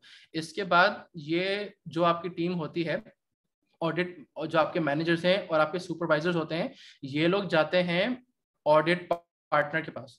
ऑडिट पार्टनर के पास वो जाते हैं और ये लोग आपने जो भी ऑडिट साल में परफॉर्म किया होता है, उसका रिव्यू करवाते हैं। जो ऑडिट पार्टनर होता है, उसको ऑलरेडी इतना एक्सपीरियंस होता है कि ऑलरेडी उस, उसको पता होता है कंपनी के बारे में कि वहाँ पे क्या मसले मसाइल हो सकते हैं, उस ऑडिट कंपनी में क्या रिस्क हो सकता है। तो वो उसी रिस्क बेस्ड अप्रोच को लेके चीज़ों को चल रहा होता है और क्वेश्चंस करता है फ्रॉम सुपरवाइजर्स एंड मैनेजर्स वो आगे अपने वर्किंग पेपर्स ये लोग डिस्प्ले कर रहे थे वर्किंग पेपर्स का कॉन्सेप्ट मैं आपको आगे लेके बताऊँगा। तो इस तरह से ये ऑडिट फर्म की हिरारकी होती है। इसके बाद क्लाइंट से मीटिंग्स होती हैं डिस्कशंस होती हैं, आपके सारे जो काम रिव्यू हो रहे होते हैं और at the end of the day जब सारी चीज़ें फाइनलाइज हो जाती हैं तो जो ऑडिट रिपोर्ट की होती है, जिसका मैंने ऊपर ज़िक्र किया था, वहाँ पे ऑडिट पार्टनर अपनी सिग्नेचर करता है। ये कहने में तो आसान होता है, लेकिन इट्स क्वाइट हेक्टिक इसमें काफ़ी आपकी रातें लगती हैं, काफ़ी महीने भी लगते हैं, लेकिन नॉर्मली जो काफ़ी बड़े क्लाइंट्स होते हैं, उसमें दो महीने में ऑडिट पूरा करना होता है, तीन महीने में भी मैक्सिमम तक आपको लेके जाना पड़ता है। ये इसलिए डेडलाइन ज़रूरी होती हैं, क्योंकि आपको ये सारी चीज़ें रिपोर्ट करनी होती हैं to S E C P is known as securities and exchange commission of Pakistan जो कि ऑडिट और इन सब चीज़ों को रेगुलेट कर रहा होता है। इसी तरह से जैसे कम्युनिकेशन इंडस्ट्री होती है टेलीकम्युनिकेशंस में, उसका रेगुलेटर होता है PTA PTA Pakistan telecommunication authority ये सब चीज़ें देख रहा होता है। इस तरह से जो भी आपकी एयरलाइंस होती हैं, वो सी सिविल एविएशन अथॉरिटी वो उसका रेगुलेटर होता है। तो जैसे बैंकिंग सेक्टर में जो भी आपके क्लाइंट्स होते हैं, उसका रेगुलेटर होता है S B P which is state bank of Pakistan तो इसी तरह से ये कुछ रेगुलेशंस और गवर्नमेंट की जो पॉलिसीज़ एंड फ्रेमवर्क्स होते हैं तो ये इस तरह से ये चीज़ें चल रही होती हैं। अब आप जब ऑडिट करते हो तो ऑडिट में टीम मेंबर्स अलॉट होते हैं। ऑडिट uh, टीम में जूनियर्स भी होते हैं सीनियर्स भी होते हैं और सुपरवाइजर uh, नॉर्मली एक ही हो रहा होता है। तो एक अच्छा मिक्सचर आपके पास होना चाहिए। क्योंकि जैसे अगर आप बड़ी कंपनी का ऑडिट करने जा रहे हो, जैसे ई एफ़ यू इंश्योरेंस है, वो बहुत बड़ी लिस्टेड कंपनी है। तो उसमें, उस टीम में अगर जूनियर्स ज़्यादा होंगे, इसका मतलब उनके पास तो इतना एक्सपीरियंस नहीं होता ना, क्योंकि उन्हें नई, नया नया नया ज्वाइन किया होता है। तो इस इस, इसकी वजह से ऑडिट इतना अच्छे से परफॉर्म नहीं होता ऑडिट की क्वालिटी आपकी कॉम्प्रोमाइज होती है। तो इसलिए बड़े क्लाइंट्स पे सीनियर्स ज़्यादा होते हैं, जिनको ऑलरेडी कंपनी का पता होता है उनके पास इतना एक्सपीरियंस होता है कि वो अपनी प्रोफेशनल स्केप्टिसिज्म और जो जजमेंट है वो अच्छे से उस पर अप्लाई कर सकती है। और इसमें फिर मैनेजर्स भी इन्वॉल्व होते हैं और एंड में आपका ऑडिट कंक्लूड होता है। तो ये ऑडिट हैरारकी के ऊपर छोटी सी डिस्कशन थी। तो इस पे कोई मुझे सवाल पूछना चाहता है?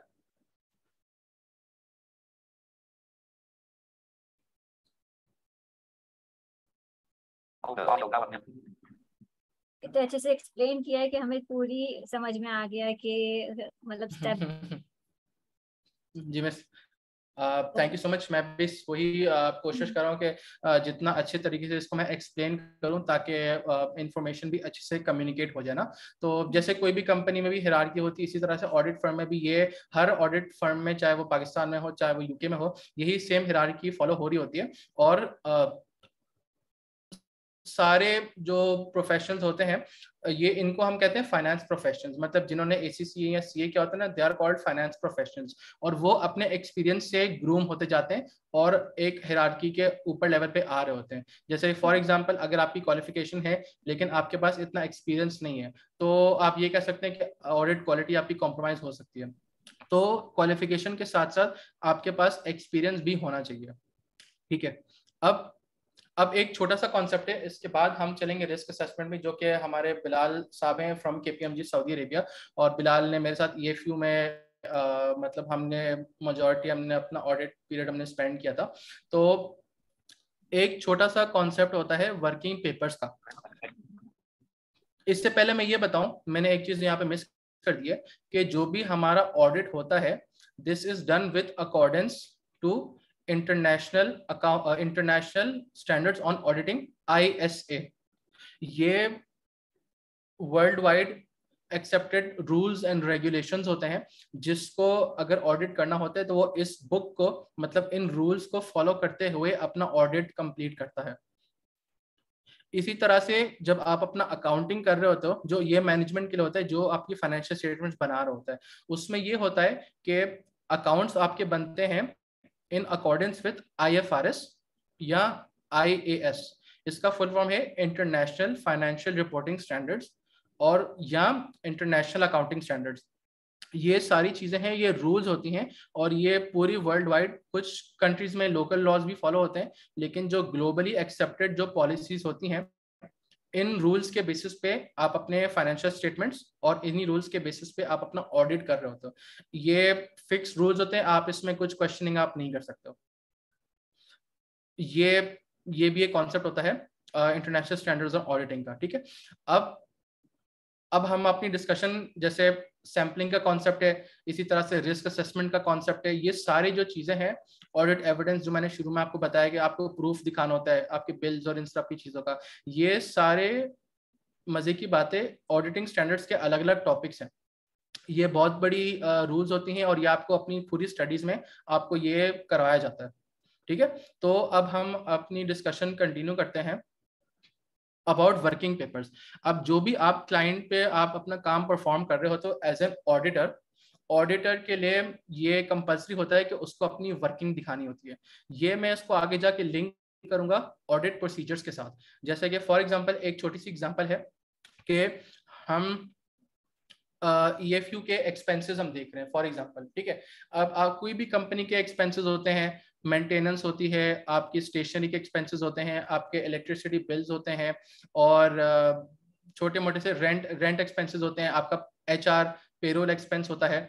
तो इन सब की जो कैलकुलेशन होती है, जो चेकिंग होती है, उसको हम एक एक्सेल फ़ाइल में रिकॉर्ड करते हैं, जिसको बोलते हैं वर्किंग पेपर फ़ाइल।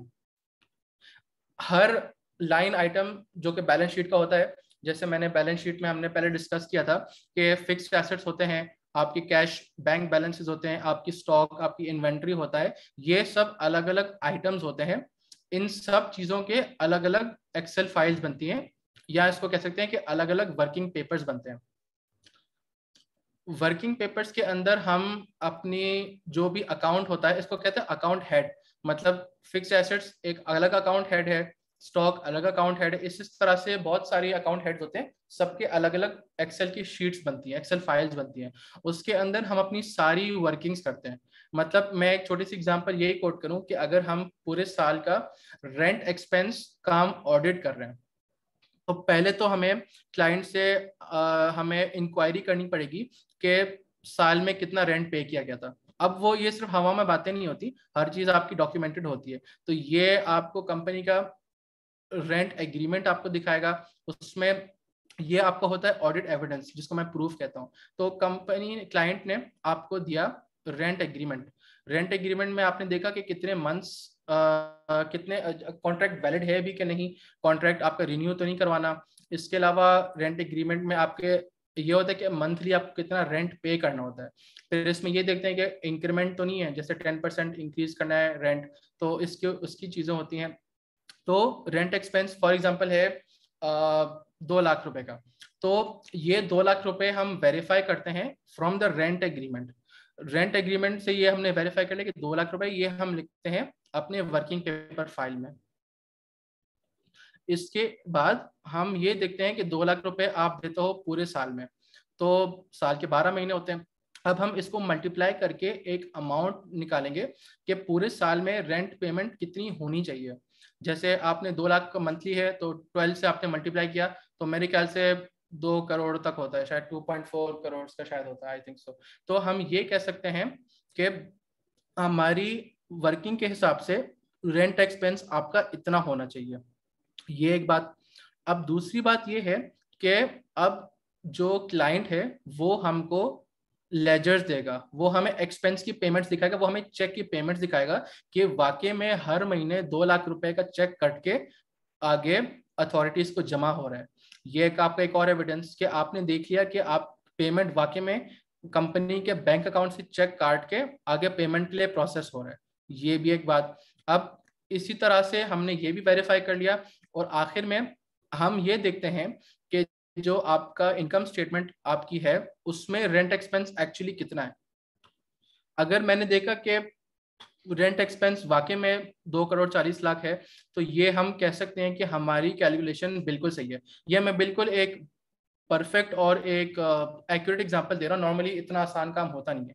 तो ये इतनी लंबी बात करने का मकसद यही था कि हम अपने वर्किंग पेपर्स में ये चीज़ें हम नोट डाउन कर रहे होते हैं। जैसे हमने चेक्स देखे तो हम इसमें मेंशन करते हैं कि हमने सारे मंथली चेक्स देखे बैंक के और उसमें साइन हुई भी है। इसमें हम ऑथराइजेशन चेक करते कि चेक पे साइन हुई थी चेक का डेट सही था, ये कंट्रोल्स होते हैं। इसके अलावा एक और कंट्रोल टेस्टिंग यहाँ पे आती है कि जैसे आपने देखा कि दो लाख का चेक है तो अब हमें कंपनी की पॉलिसी देखनी होती है कि अगर दो लाख हमने ऊपर हमने क्या आइडेंटिफाई किया था कि अगर पाँच लाख रुपए से ऊपर का चेक होगा तो उस पर इंटरनल ऑडिट की अप्रूवल चाहिए होगी। इसका मतलब ये तो दो लाख रुपए का चेक है इसका मतलब कि इस पे हमें इंटरनल ऑडिट की ज़रूरत नहीं है तो ये भी एक कंट्रोल हम अपना चेक कर रहे होते हैं ठीक है? तो ये आ, ये आपकी कंट्रोल टेस्टिंग भी ऑडिट के अंदर आपकी कवर हो रही होती है ठीक है? अब हमने ये सारी चीज़ें नोट डाउन की हमने वाउचर्स देखे हमने चेक्स देखे हमने रेंट एग्रीमेंट देखा तो हम एक्सेल फ़ाइल के अंदर ये सारी चीज़ें स्कैन करके अटैच भी कर रहे होते हैं। जैसे हमें साल का रेंट एग्रीमेंट मिला हमने इसको स्कैन किया और हमने एक्सेल शीट में हमने अटैच कर दिया। इसी तरह से जो भी सारे चेक्स हैं आ, हमने उनको स्कैन किया और हमने अपनी एक्सेल शीट के अंदर लगा दिए और वहाँ पे टिक बॉक्स टिक टिक बॉक्स लगाया कि हमने इसको चेक कर लिया इट्स वेरीफाइड तो ये वर्किंग पेपर के अंदर हम ये सारी चीज़ें इंक्लूड कर रहे होते हैं और ये वर्किंग पेपर्स जो सीनियर बनाता है या चलो जूनियर भी बनाता है ये वर्किंग पेपर्स रिव्यू करता है आपका मैनेजर मैनेजर ये चीज़ें रिव्यू करने के बाद आगे पार्टनर को ये चीज़ें रिव्यू करवा रहा होता है। और अगर पार्टनर को ये चीज़ें सही लगती हैं तो ये उसको फिर जाने देते हैं। मतलब कि हाँ रेंट एक्सपेंस तो आपका कंपनी का बिल्कुल से सही, बिल्कुल सही से कैलकुलेट हुआ हुआ है। तो ये एक प्रोसेस है। सिंपल एग्ज़ाम्पल से मैं लेके चल रहा हूँ। किसी के पास कोई सवाल था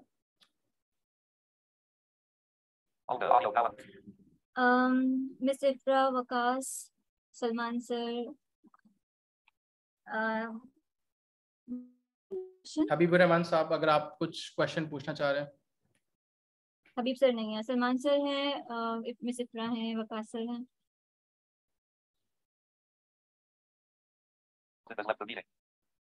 ओके कुछ नेगेटिविटी का इशू तो और कोई पूछना चाहता है कोई क्वेश्चन अभी तक जो कुछ भी इब्राहिम ने समझाया ठीक है। आई uh, होप सबको समझ आ रहा होगा क्योंकि नॉर्मली ऐसा भी कंप्रेशन होता है कि अगर सवाल नहीं हो रहे होते तो uh, यहाँ तो समझ नहीं आ रहा। यहाँ तो जैसे मिस सनम आपने बोला कि इतने अच्छे से एक्सप्लेन हो रहा है कि कोई सवाल ही नहीं है। बिल्कुल ये तो uh, चले अब ये चले ब्रेक तो एक तरह से हो ही गई क्योंकि नो वन हैज़ क्वेश्चंस तो अब हम अपनी डिस्कशन को आगे कंटिन्यू करते हैं। हम्म। और मैं चाहता हूँ कि बिलाल अशफाक आके understanding the entity and its environment के ऊपर थोड़ी सी डिस्कशन करें। ओके तो हाँ। बिलाल हाँ, जी वालेकुम अस्सलाम कैसे हैं आप? जी बिल्कुल ठीक है। जी मैं ऑडिबल हूँ? हेलो मेरी आवाज़ आ रही है ठीक है। सलामकुम एवरीवन मैं हूँ बिलाल अशफाक थैंक यू पहले इब्राहिम और टीम कि ये मुझे इनवाइट किया इस पर और बस ये के स्टार्ट करते हैं। इस पर इनिशियली मैं अपना इंट्रोडक्शन दे देता हूँ। मेरा नाम बिलाल अशफाक है। And I am currently working as an supervisor at K P M G Saudi Arabia I have been previously associated with K P M G Taseer Hadi and I was an assistant manager there and I been doing audit since a period of more than seven year ठीक है। तो इब्राहिम की बात को ही continue लेके हम आगे बढ़ते हैं। तो ऑडिट का इनिशियली बेसिकली पर्पस ये होता है कि हमारे जो फाइनेंशियल रिपोर्टिंग जो फाइनेंशियल स्टेटमेंट्स हमें दिए गए मैनेजमेंट की तरफ़ से उसके ऊपर हमारा एक फाइनल एक ओपिनियन आता है कि whether these financial statements are presented in a fair view are presented presenting a true and fair view उसको देखने के लिए उसको कंक्लूड करने के लिए जो हम प्रोसीजर परफॉर्म करते हैं उसकी असेसमेंट करते हैं वो रिस्क असेसमेंट के थ्रू कर रहे होते हैं। जो मैनेजमेंट अपने फाइनेंशियल स्टेटमेंट बना रहे होते हैं बिलाल भाई सॉरी सॉरी बिलाल भाई एक क्वेश्चन आ रहा था फ्रॉम रिदा वो उन्होंने कब से हैंड रेज किया था? एक्चुअली मुझे यहाँ पे पता नहीं चल रहा। तो पहले मिस रिदा आप अपना क्वेश्चन रेज करें प्लीज़ इब्राहिम एक्चुअली मेरा क्वेश्चन नहीं है सर सलमान का है वो भी मैंने आपको मैसेज किया था। आई एम सॉरी यहाँ पे I am not really able to follow like screen reader से मैं फ़र्स्ट टाइम ऐसे कर रहा हूँ। तो आप क्या कहना चाह रही हैं? सलमान सर का क्वेश्चन था बस मैंने आपको वही बोला था। ओके okay, तो uh, उनका क्वेश्चन क्या है? सलमान सर अस्सलाम वालेकुम आप लोगों को आवाज़ आ रही है मेरी? वालेकुम सलाम सर सलमान कैसे हैं आप? अल्हम्दुलिल्लाह। इब्राहिम सर आपने माशाल्लाह बहुत अच्छे से ब्रीफ किया और बहुत टेक्निकल जो वर्ड्स थे अकाउंट के हवाले से ऑडिट के हवाले से वो आपने यूज़ किए। बस मुझे मैं इतना टेक्निकल बंदा तो नहीं हूँ लेकिन बस मुझे इतना जानना है हम नई सुबह में बहुत सारे प्रोजेक्ट लेकर चल रहे हैं। और हमारे पास बहुत सारे केसेस आते भी हैं ऐसे। आप मुझे ये बताइए कि बिना वीआई क्या कोई एस या सीए कर सकता है? या फिर अभी आप एज अ ऑडिटर अगर आप जॉब कर रहे हैं तो वहाँ पर जब हम कहीं पर भी ऑडिट करते हुए देखते हैं, हमारे अपने भी ऑडिट होते हैं और इससे पहले भी हमने ऑडिट होते हुए देखे तो साइटेड यानी कि विजन का अमल दखल बहुत ज़्यादा होता है। सिग्नेचर करना फाइल्स को देखना इलेक्ट्रॉनिक पर तो हम देख सकते हैं, चलें सॉफ्ट कॉपीज देख सकते हैं। तो वहाँ क्या डिफिकल्टीज आती हैं? आप आखिर में इस पे थोड़ा सा एक बता दीजिएगा सबको। अगर कोई इस फ़ील्ड की तरफ़ आना चाहता है तो उसको क्या क्या करना चाहिए? अभी तो ये अशफाक साहब का शुरू हो गया है सेशन चाहें तो आखिर में आप थोड़ा सा इस पर ब्रीफ कर दीजिएगा। आने वाले बच्चों को क्या करना चाहिए? डेफिनेटली सर मैं इस पे ज़रूर अपनी डिस्कशन का पार्ट बनाऊँगा इसको। जी बिलाल साहब आप कंटिन्यू करें। जी जी। अच्छा जो फाइनेंशियल स्टेटमेंट प्रिपेयर होते हैं वो एक स्पेसिफिक पीरियड के लिए होते हैं। अगर आप में से कोई बताएँगे जो फाइनेंशियल पीरियड होते हैं वो कितने पीरियड के लिए होते हैं नॉर्मली जो होता है? कोई बताना चाहेगा? फाइनेंशियल जो पीरियड होते हैं वो मींस होते हैं सिक्स मंथ्स के होते हैं ना। जनवरी टू जून और फिर जुलाई टू दिसंबर क्योंकि अक्सर हम लोग जब बैंक में भी हमारा अकाउंट होता है तो हमें वहाँ पे मैसेजेस आते हैं कि जी जो चार्जेस हैं वो रिवाइज हो गए हैं। जुलाई से दिसंबर तक के रिवाइज हो गए हैं फिर दिसंबर जनवरी से जून तक के रिवाइज हो गए हैं। तो ये और अगर हम हम गवर्नमेंट लेवल की बात करें तो उसमें जो फाइनेंशियल ईयर होता है, वो जून टू जून होता है। जुलाई मींस जुलाई से नया बजट अप्लाई हो रहा होता है। बिल्कुल बिल्कुल आपकी बात बिल्कुल ठीक है। नॉर्मली जो पीरियड हो रहा होता है अकाउंटिंग का, वो आपका ट्वेल्व मंथ्स का पीरियड हो रहा होता है। और जो मोस्ट स्पेसिफिकली जैसे आप बैंक्स और इंश्योरेंस देखेंगे तो उनका पीरियड स्टार्ट होता है आपका फ़र्स्ट जनवरी से लेकर थर्टी फ़र्स्ट दिसंबर तक का। तो जब आप ऑडिट स्टार्ट करते हैं तो ऑडिट में ये होता है कि जब आपको ट्वेल्व मंथ्स कवर करना होता है, क्योंकि मैनेजमेंट का तो ये रूटीन प्रोसेस हो रहा होता है।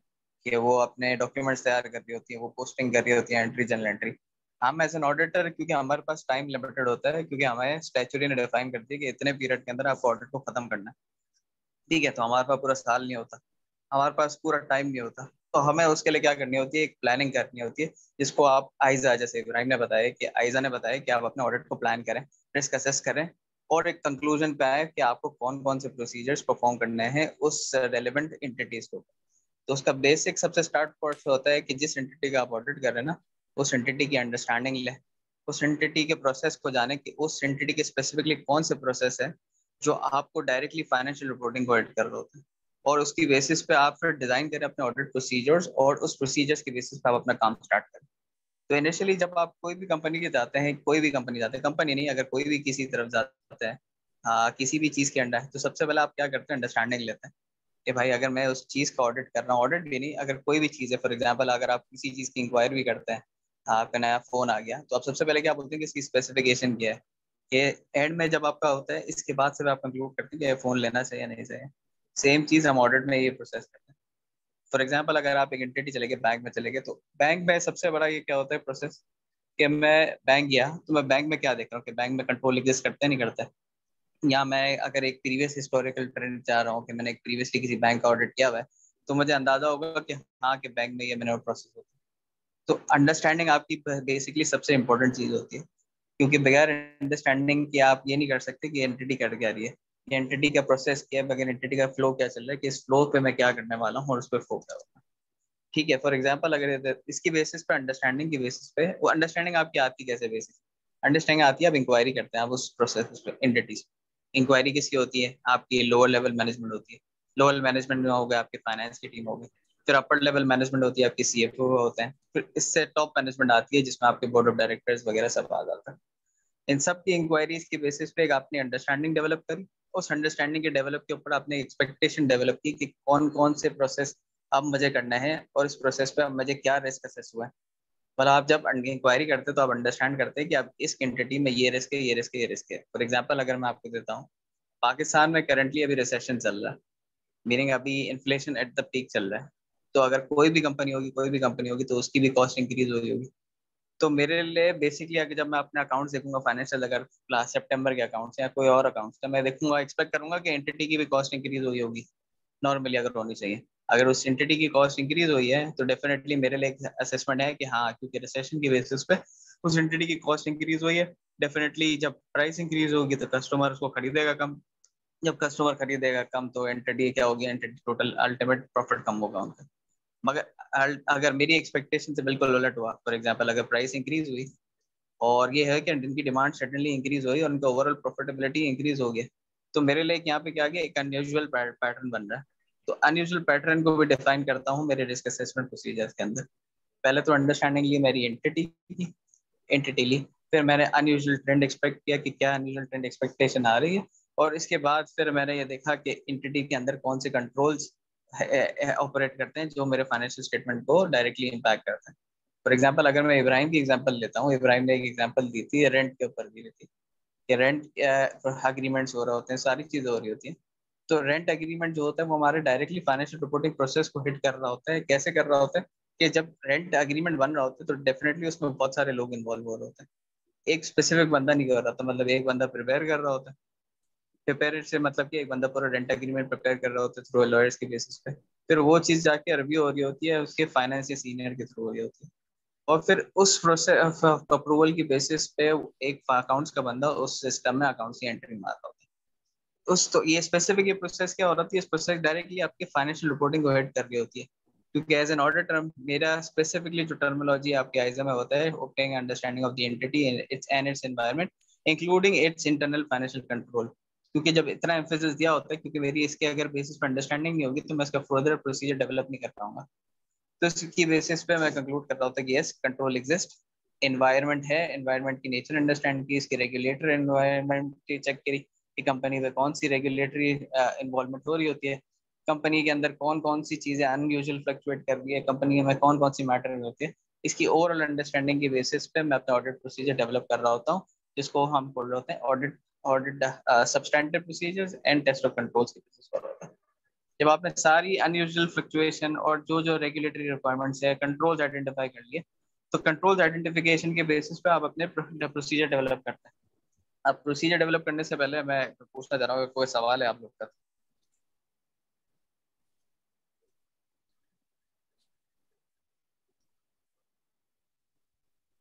आ, कोई सवाल? इब्राहिम आपका कोई सवाल? नहीं नहीं नॉट रेडी ठीक है।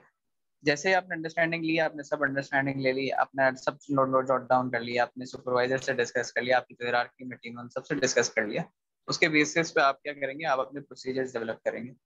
ठीक है क्योंकि आपने एक चीज़ आइडेंटिफाई कर ली कि ये मेरे रिस्क है ये मेरी प्लानिंग क्या होना चाहिए और मेरे हिसाब से अब ये ये डॉक्यूमेंटेशन अब मैं अपने फ़ाइल पे एक्सपेक्ट करता हूँ उसको कंक्लूड करने के बेसिस तो उसके लिए आप बेसिकली कौन सा काम कर सकते हैं आपके ऑडिट डॉक्यूमेंटेशन जो आपका आ, जो आपका जो आइजा है उसके अंदर आइजा जो स्पेसिफिकली आपका इंटरनेशनल ऑडिट स्टैंडिंग है क्या वो बोलता है कि आप इन प्रोसीजर्स के ऊपर आप आ, क्या बोलते हैं प्रोसीजर परफॉर्म करें in the form of control testing and in the form of substantive procedures substantive procedures और कंट्रोल टेस्टिंग में ये फ़र्क है कि कंट्रोल जो मैंने आइडेंटिफाई करा अपने फाइनेंशियल रिपोर्टिंग प्रोसेस जो इनिशियल अंडरस्टैंडिंग की बेसिस पे अंडरस्टैंडिंग की बेसिस पे फिर मैंने आइडेंटिफाई करा है कि भाई ये कंट्रोल एग्जिस्ट करता है। और इस कंट्रोल्स के ऊपर मेरे कौन से कंट्रोल हैं जो मेरे डायरेक्ट फाइनेंशियल स्टेटमेंट पे इम्पैक्ट कर रहे होते हैं? तो आपने आइडेंटिफाई करे कंट्रोल्स और उस कंट्रोल्स को देखा कि वो एक्चुअली ऑपरेट कर रहा है इफेक्टिवली नहीं कर सकता। इशू यहाँ पे आता है, अगर आपके कंट्रोल एग्जिस्ट करते हैं ना एंटिटीज के अंदर, और वो एंटिटीज के अंदर ऑपरेट नहीं कर रहे इफेक्टिवली तो मेरे लिए ये रिस्क आ जाता है कि भाई, क्या मैं वेदर के इन कंट्रोल्स पे रिलाई कर सकता हूँ, नहीं कर सकता। अगर इन कंट्रोल्स पे अगर मैं रिलाई नहीं कर सकता तो डेफिनेटली मैं प्रूव करूँगा टू और टू एन ऑल्टरनेटिव प्रोसीजर्स मैं अपना टाइम वहाँ क्यों ज़ाया करूँगा, जिस चीज़ की एक्चुअली इफेक्टिवनेस नहीं होती। तो बेसिकली इसका मकसद ये होता है कि अगर मेरा कंट्रोल्स के थ्रू एक चीज़ वेरिफिकेशन हो सकती है तो मेरा ओवरऑल जो टेस्टिंग के ऊपर होती है ना, वो फोकस को थोड़ा कम हो जाएगा। ओवरऑल टेस्टिंग है ताकि मैं इन कॉम्बिनेशन बहुत सब्सटेंटिव प्रोसीजर्स भी और मेरा टेस्ट ऑफ़ कंट्रोल्स की बेसिस पे इसको कंक्लूड कर सकता देखिए ऑडिट का मकसद ये है कि इनिशियली मैंने ये बताया था कि क्योंकि हम 12 महीने के पूरा काम कर रहे हैं और ऑडिटर के पास सीधी बात है, एक स्ट्रिक्ट डेडलाइन हो रही होती है तो हम सीधी बात है पूरा हंड्रेड परसेंट काम नहीं कर सकते। हंड्रेड परसेंट का मतलब अगर ऑडिट में बोले तो एक एब्सोल्यूट एश्योरेंस होती है।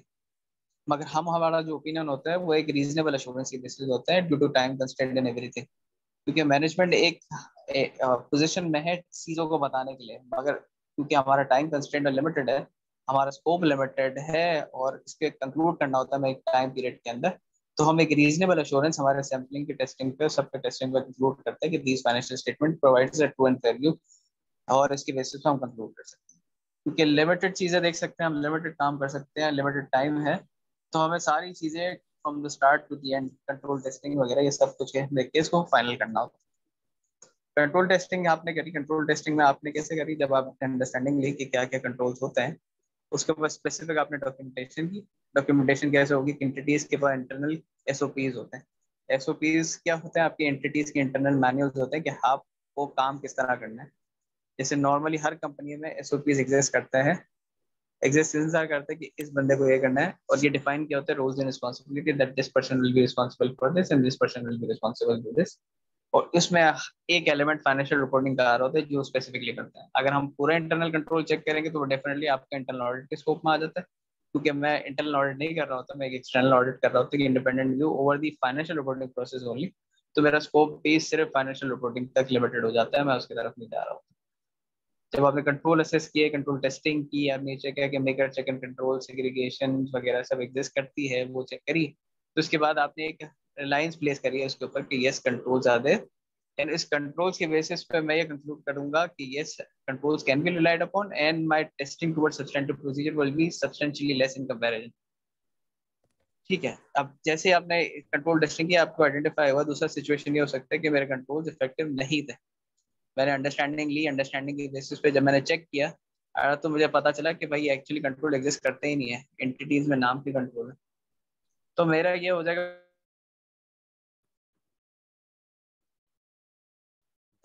तो मेरा ऑडिट प्लान जो मैंने इनिशियली डेवलप किया था कि इस कंपनी के ऊपर कंट्रोल एग्जिस्ट करते हैं। और उस कंट्रोल पे मैं रिलाई कर सकता हूँ, वो मेरा क्या हो गया, मेरा मेरा प्लान जो था इनिशियली वो चेंज हो गया। मुझे लग रहा है कि मुझे अब सब्सटेंटिव मतलब टेस्ट ऑफ़ डिटेल मतलब डिटेल टेस्टिंग करनी पड़ेगी, ताकि मैं अपने ऑडिट को कंक्लूड कर सकूँ, वरना मैं ऑडिट को कंक्लूड करना बहुत मुश्किल होता है। तो आपके सब्सटेंटिव प्रोसीजर्स के क्या क्या प्रोसेस होते हैं, वो डेफिनेटली इब्राहिम आपको सेकेंड सेशन में बताएँगे। मगर सब्सटेंटिव प्रोसीजर के इनिशियली होता है कि आप, जैसे इब्राहिम ने एग्ज़ाम्पल दी थी रेंट का, अपने डॉक्यूमेंटेशन के ऊपर दी थी। कि रेंट एग्रीमेंट था तो रेंट का डॉक्यूमेंट लिया तो मैंने रेंट की अमाउंट मैंने वहाँ से वेरीफाई करी। मैंने जो पेमेंट की तो मैंने पेमेंट वाउचर से वेरीफाई किया। ये सारी आपकी सब्सटेंटिव प्रोसीजर होती है कि ताकि आप उस पर ये देख सकें एक एक चीज़ जो नंबर आप रिपोर्ट कर रहे हैं अपने फाइनेंशियल रिपोर्टिंग के अंदर, वो एक्चुअली एग्जिस्ट करता है, नहीं करता। वो एक्चुअली आपने पे किया है, नहीं करा या मैनेजमेंट बोल हैं या उसके ऊपर रिलायंस लें। क्योंकि हम मैनेजमेंट पर रिलाई नहीं कर रहे होते, क्योंकि हम प्रोफेशनल स्केप्टिसिज्म की तरफ़ जा रहे होते। हैं प्रोफेशनल स्केप्टिसिज्म आपकी क्या हो रही होती है? एक आपकी क्वेश्चनिंग माइंड की तरफ़ जा रहा होता है। और उस क्वेश्चनिंग माइंड की बेसिस पे आप खुद जज करेंगे आप खुद जजेस करेंगे कि फाइनली कि whether these are providing sufficient evidence और नॉट अगर एविडेंस नहीं प्रोवाइड करेगा तो मेरे लिए एक इशू हो जाएगा और मुझे ऑल्टरनेटिव की तरफ़ जाना पड़ेगा। और बेसिकली सबसे बड़ा ऑल्टरनेटिव होता है, आप मैनेजमेंट को जाकर कम्युनिकेट करेंगे सबसे पहले कि भाई ये आपकी इश्यूज़ है और इसको बताएँ कि मैं इसको किस तरह रिजॉल्व ठीक है तो अब तक कभी कोई सवाल अगर कुछ समझ नहीं आया हो।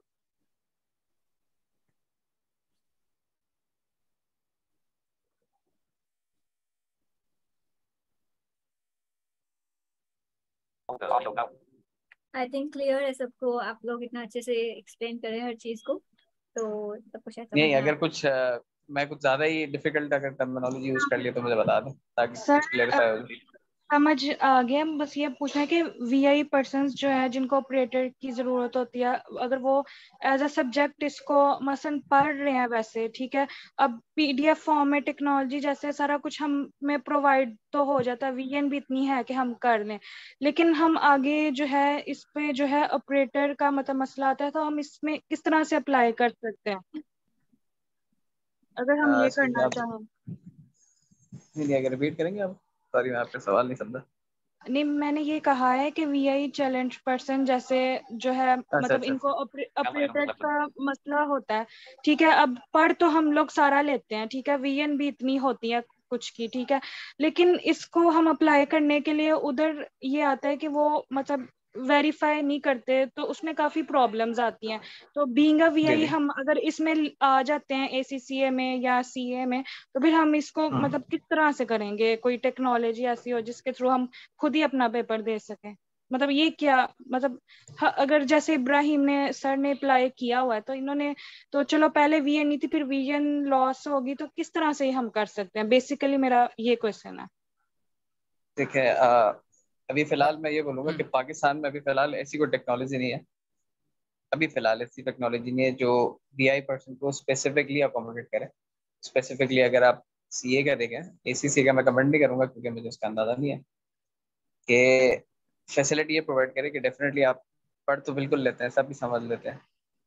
मगर डेफिनेटली एक वी आई के लिए एक स्पेशल कोटा या क्या बोलेंगे इस पर फ़ोन ही बिल्कुल चाहिए। मगर अभी फ़िलहाल तो ऐसी कोई फैसिलिटी नहीं है मगर ये डेफिनेटली ये फैसिलिटी आई कैप्स पे रेज हो चुकी है।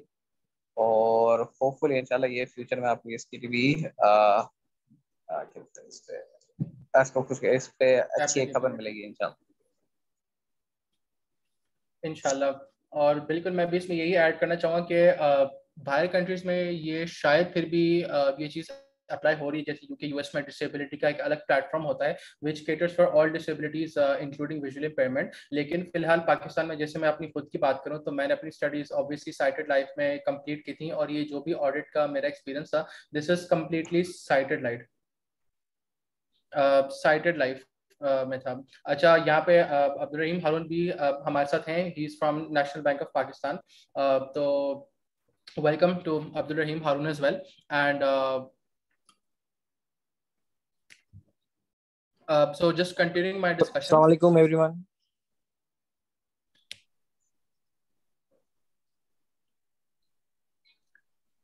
Assalamualaikum Ibrahim. Uh, Walaikum salam. Yeah. Sorry मैं थोड़ा लेट हो लेट ज्वाइन किया है मैंने नहीं that's completely fine to everyone abdul rahim harun is my uh, chachu and uh, he is an executive vice president at national bank of pakistan तो वो भी uh, एक chartered accountant है uh, he is serving as a banking professional for many decades तो welcome to him as well and welcome him to this session basically uh, मैं इसमें अपनी uh, इसमें यही मैं ऐड करना चाहूँगा कि uh, अभी मैंने खुद भी ऑडिट एक्चुअली विजन लॉस के बाद इस तरह से प्रैक्टिकली नहीं किया है लेकिन मैं ऑडिट की जो दूसरी uh, जो चीज़ें होती हैं उस पर मेरा फोकस है। जैसे रिसर्च एंड पब्लिकेशन होते हैं जैसे आई एस ए आईजा और आई एफ़ आर एस की जो मैंने अभी डिस्कशन की बिलाल साहब ने भी डिस्कशन की तो उसकी जो रूल्स हैं उसकी जो ट्रेनिंग है उस पर फ़िलहाल मेरा फोकस है। लेकिन जो फ़ील्ड वर्क या जो आप जो ऑडिट करते हैं उसमें मैंने अभी तक ना मैंने देखी है ना मैंने इस चीज़ को प्रैक्टिकली लेकिन डेफिनेटली कोई ना कोई अपडेट्स या चीज़ें होंगी तो मैं बिल्कुल आ, मैं आप लोगों के साथ ये शेयर करूँगा।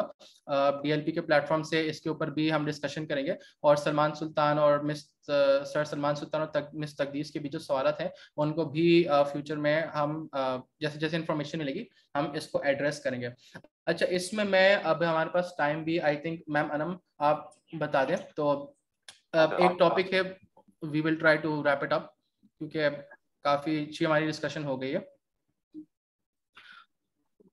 तो मैं इसमें ये ऐड करना चाहूँगा, बिलाल साहब ने हम डिस्कशन की रिगार्डिंग रिस्क असेसमेंट मैं इसमें एक चीज़ ऐड करना चाहूँगा जो उन्होंने अनयूजुअल सर्कमस्टांसेस या अनयूजुअल मूवमेंट्स की बात की। अब जैसे फॉर एग्जांपल अब आप कंपनी के जो ड्राफ्ट फाइनेंशियल स्टेटमेंट है, उसको आप रिव्यू कर रहे हैं। तो इसको हम एनालिटिकल प्रोसीजर्स भी कह सकते हैं कि आप लाइन बाय लाइन आइटम्स देखते हो पिछले साल से इस साल में कितना फ़र्क आया, कितना इंक्रीज और कितना डिक्रीज था। जैसे फॉर एग्जांपल कहीं पे अनयूजुअल परसेंटेज से इंक्रीज हो रहा है तो उस पर हम क्वेश्चन मार्क रेज करके उससे इंक्वायरी करते हैं। लेकिन इंक्वायरी के साथ साथ हम ये भी चेक कर सकते हैं कि वाकई में ये चीज़ प्रूव हो रही है कि नहीं। जैसे फॉर एग्ज़ाम्पल अब आप ये देख रहे हैं कि मेरी इंश्योरेंस कंपनी है ई e उसका मैं ऑडिट कर रहा हूँ, उसके सेल जैसे पिछले साल ट्वेंटी करोड़ से इस दफ़ा ट्वेंटी सेवन करोड़ हो गए फॉर एग्ज़ाम्पल पाँच करोड़ की सेल्स इन्होंने इंक्रीज की है। इन्होंने five five fifty million more policies इन्होंने राइट की हैं।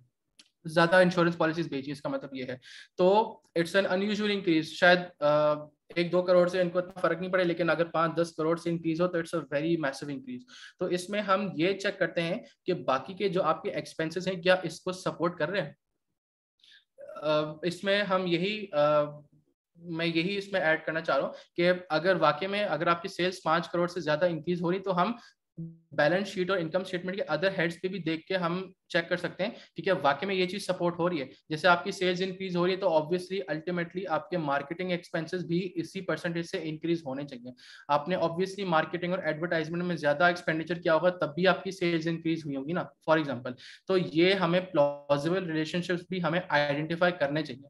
जैसे फॉर एग्ज़ाम्पल आपके बिल्डिंग्स की कॉस्ट आपकी बढ़ रही है फॉर एग्ज़ाम्पल तो हम इसको रेंट एक्सपेंस से भी वेरीफाई कर सकते हैं। अगर आपका रेंट एक्सपेंस बढ़ रहा है तो मतलब ज़्यादा बिल्डिंग है तो इसका मतलब कि हमारा रेंट एक्सपेंस भी बढ़ना चाहिए। फॉर एग्जांपल इसी तरह से जैसे सेल्स इंक्रीज हो रही है तो इसमें ये भी हो सकता है कि आपके इम्प्लॉयज हैं, वो भी हमारे ज़्यादा हायरिंग भी होगी। तो इसको हम मैच कर सकते हैं ह्यूमन रिसोर्सेज मतलब पेरोल एक्सपेंस कि आपकी सैलरी का एक्सपेंस बढ़ा है तो हम वाकई में ये जस्टिफाई कर सकते हैं कि वाकई में कंपनी ने एम्प्लॉयज़ अपने ज़्यादा हायरिंग की इस दफ़ा ठीक है? तो ये बात है। अच्छा we just have a few minutes left तो मैं आ, अपनी अगली स्लाइड पे मूव करता हूँ फिर ये हम अपनी डिस्कशन डे टू पे हम कंटिन्यू करेंगे। तो जो हमारा आखिरी टॉपिक है जो बिलाल साहब ने भी डिस्कस किया था which was related to sampling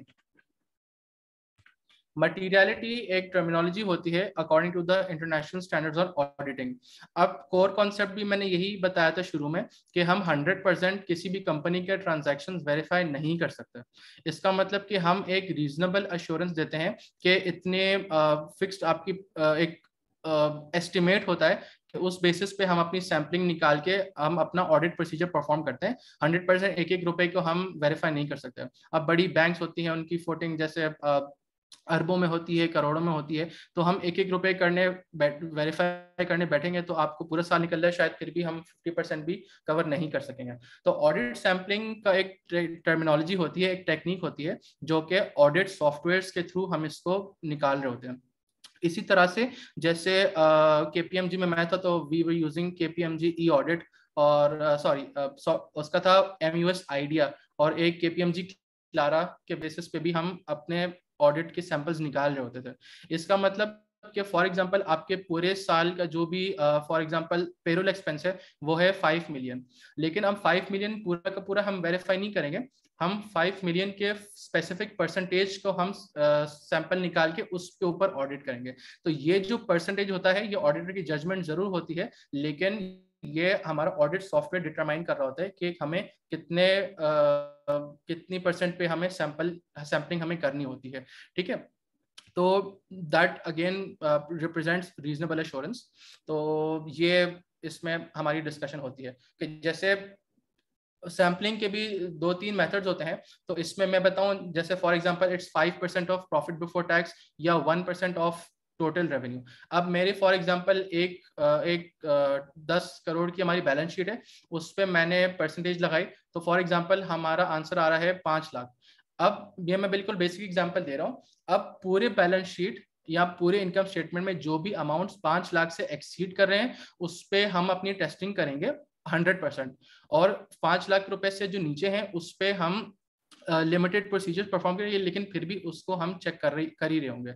हम कोई भी चीज़ छोड़ेंगे नहीं, किसी पे प्रोसीजर्स हम अपने बढ़ा देंगे, कुछ पे हम प्रोसीजर्स कम कर देंगे। तो इस तरह से ये बेसिक एक कॉन्सेप्ट होता है। सारे जो आपके लेजर के एक्सपेंसेस होते हैं, उसमें ये हम सारी फिगर्स पोर्ट इन करते हैं और ऑडिट सॉफ्टवेयर होता है, हमें सैंपल निकाल के देता है और उस सैंपल को हमें हंड्रेड परसेंट चेक करना होता है, तभी हम अपने ऑडिट प्रोसीजर्स प्रॉपर तरीके से परफॉर्म कर सकते हैं। अब I think we should wrap it up क्योंकि काफ़ी डिस्कशन हुई है बिलाल साहब ने और uh, हमारे साथ अब्दुल रहीम हारून ने भी ज्वाइन किया था from national bank of Pakistan तो इसी तरह से uh, जो बाकी के जो टॉपिक्स हैं उसको हम डे टू में कवर करेंगे which will include financial statement assertions and finally your audit procedures इसका मतलब जो सर अहमद फराज ने शुरू में हमें अल्सर के बारे में बताया था उस अलाइन आइटम की एक एक हेड जैसे एसिड की एक आइटम लाइबिलिटीज की एक आइटम कैपिटल की एक आइटम उसको हम डिटेल में डिस्कस करेंगे कि उसके ऑडिट प्रोसीजर्स किस तरह से हम परफॉर्म करेंगे ऑन सैम्पलिंग बेसिस तो ये uh, हमारी आज की डिस्कशन थी। Okay thank you so much Ibrahim आपने इतने अच्छे से इस वर्कशॉप के डे वन को एग्जीक्यूट किया और इतनी अच्छी इन्फॉर्मेशन हमें दी और बहुत ही ज़्यादा बेनिफिशियल थी और डे टू में इससे भी ज़्यादा इन्फॉर्मेशन मिलेगी। मैं आप सबसे उम्मीद करती हूँ आप सब उसको भी ज्वाइन करेंगे क्योंकि उसमें हम आगे और भी ज़्यादा टेक्निक टेक्निकल चीज़ों को सीख रहे होंगे और समझ रहे होंगे ऑडिटिंग से रिलेटेड तो thank you so much Ibrahim day two के लिए बेस्ट ऑफ़ लक और थैंक यू सो मच इतनी अच्छी वर्कशॉप कंडक्ट करने के लिए। बिलाल अशफाक आपको भी थैंक यू सो मच आपने अपने इतने प्रेशियस टाइम में से टाइम निकाला हमारी वर्कशॉप के लिए. तो थैंक यू सो मच और um, इब्राहिम के चाचू अब्दुल रहीम साहब आपको भी थैंक यू सो मच आप आए और अब हम इसको रैप अप रैप अप करते हैं. सॉरी मैं थोड़ा सा लेट हो गया लेकिन मैं स्टूडेंट हूँ. एक मिनट तकदीस एक मिनट रुकिएगा. जी अब्दुल रहीम साहब. जी मैं ही कह रहा मैं ही कह रहा था कि एक तो ये कि सॉरी मैं थोड़ा सा लेट हो गया लेकिन मैंने जितना भी सुना मुझे बहुत ही अच्छा लगा और बहुत ही अच्छी तरीके से इब्राहिम और इनके जो थे दूसरे कलीग उन्होंने बहुत अच्छी तरीके से एक्सप्लेन किया और आई एम श्योर ऑडियंस को भी काफ़ी जो है इससे फ़ायदा मिला होगा और उनको भी काफ़ी चीज़ें जो है सीखने को मिलेंगी। तो we are looking forward for the second session इंशाल्लाह। नेक्स्ट वीक में होगा ना इंशाल्लाह सैटरडे को यस 17th को 3 PM same time I try my best time पे ज्वाइन कर सकूँ इसको ज़्यादा से ज़्यादा बेनिफिट हासिल कर सकूँ। Thank you so much thank you so much you're welcome और बिल्कुल नेक्स्ट वीक में भी आई एम श्योर मेरे अब्दुल रहीम मेरे चाचू भी हैं he. Is working at national bank of Pakistan तो वो भी अपने बैंकिंग का भी थोड़ा सा एक्सपीरियंस शेयर करेंगे ताकि हमारी ऑडियंस ज़्यादा से ज़्यादा इंफॉर्मेशन से बेनिफिट कर सके। बिल्कुल yes, हम भी ये सीखना चाहेंगे और ज़्यादा ज़्यादा इंफॉर्मेशन लेना चाहेंगे आपसे। Thank you so much for being with us. All right. So, Allah Hafiz, everyone. Miss Sanam काफ़ी okay, अच्छा लगा कि नई नई सुबह इतने मसन अच्छी चीज़ें लेकर आती है विजुअली इम्पेयर्ड के लिए इतनी ज़्यादा इंफॉर्मेशन प्रोवाइड करना और इंशाल्लाह मेरी दुआ है कि आगे भी टेक्नोलॉजीज़ आए क्योंकि मेरा इसमें इंटरेस्ट बहुत ज़्यादा था लेकिन मैं जो है अभी इसको सीख रही हूँ अकाउंटिंग स्टडी कर रही हूँ लेकिन इंफॉर्मेशन जितनी अच्छी दी गई है ना मुझे समझ भी बहुत अच्छे तरीके से फॉर्मेट भी बहुत अच्छा लगा है समझाने का। तो आपका फीडबैक बहुत वैल्यूएबल है और आप हमसे इसको मैसेज में भी आगे शेयर कीजिएगा फीडबैक ताकि हम आगे शेयर कर सकें ठीक है? थैंक यू किधर शेयर करूँगी? करूँ इसको? आ, मुझे मैसेज करिएगा ठीक है? अपना फीडबैक ओके ठीक है. अल्लाह हाफिज. अल्लाह हाफिज. थैंक यू एवरीवन अल्लाह हाफिज.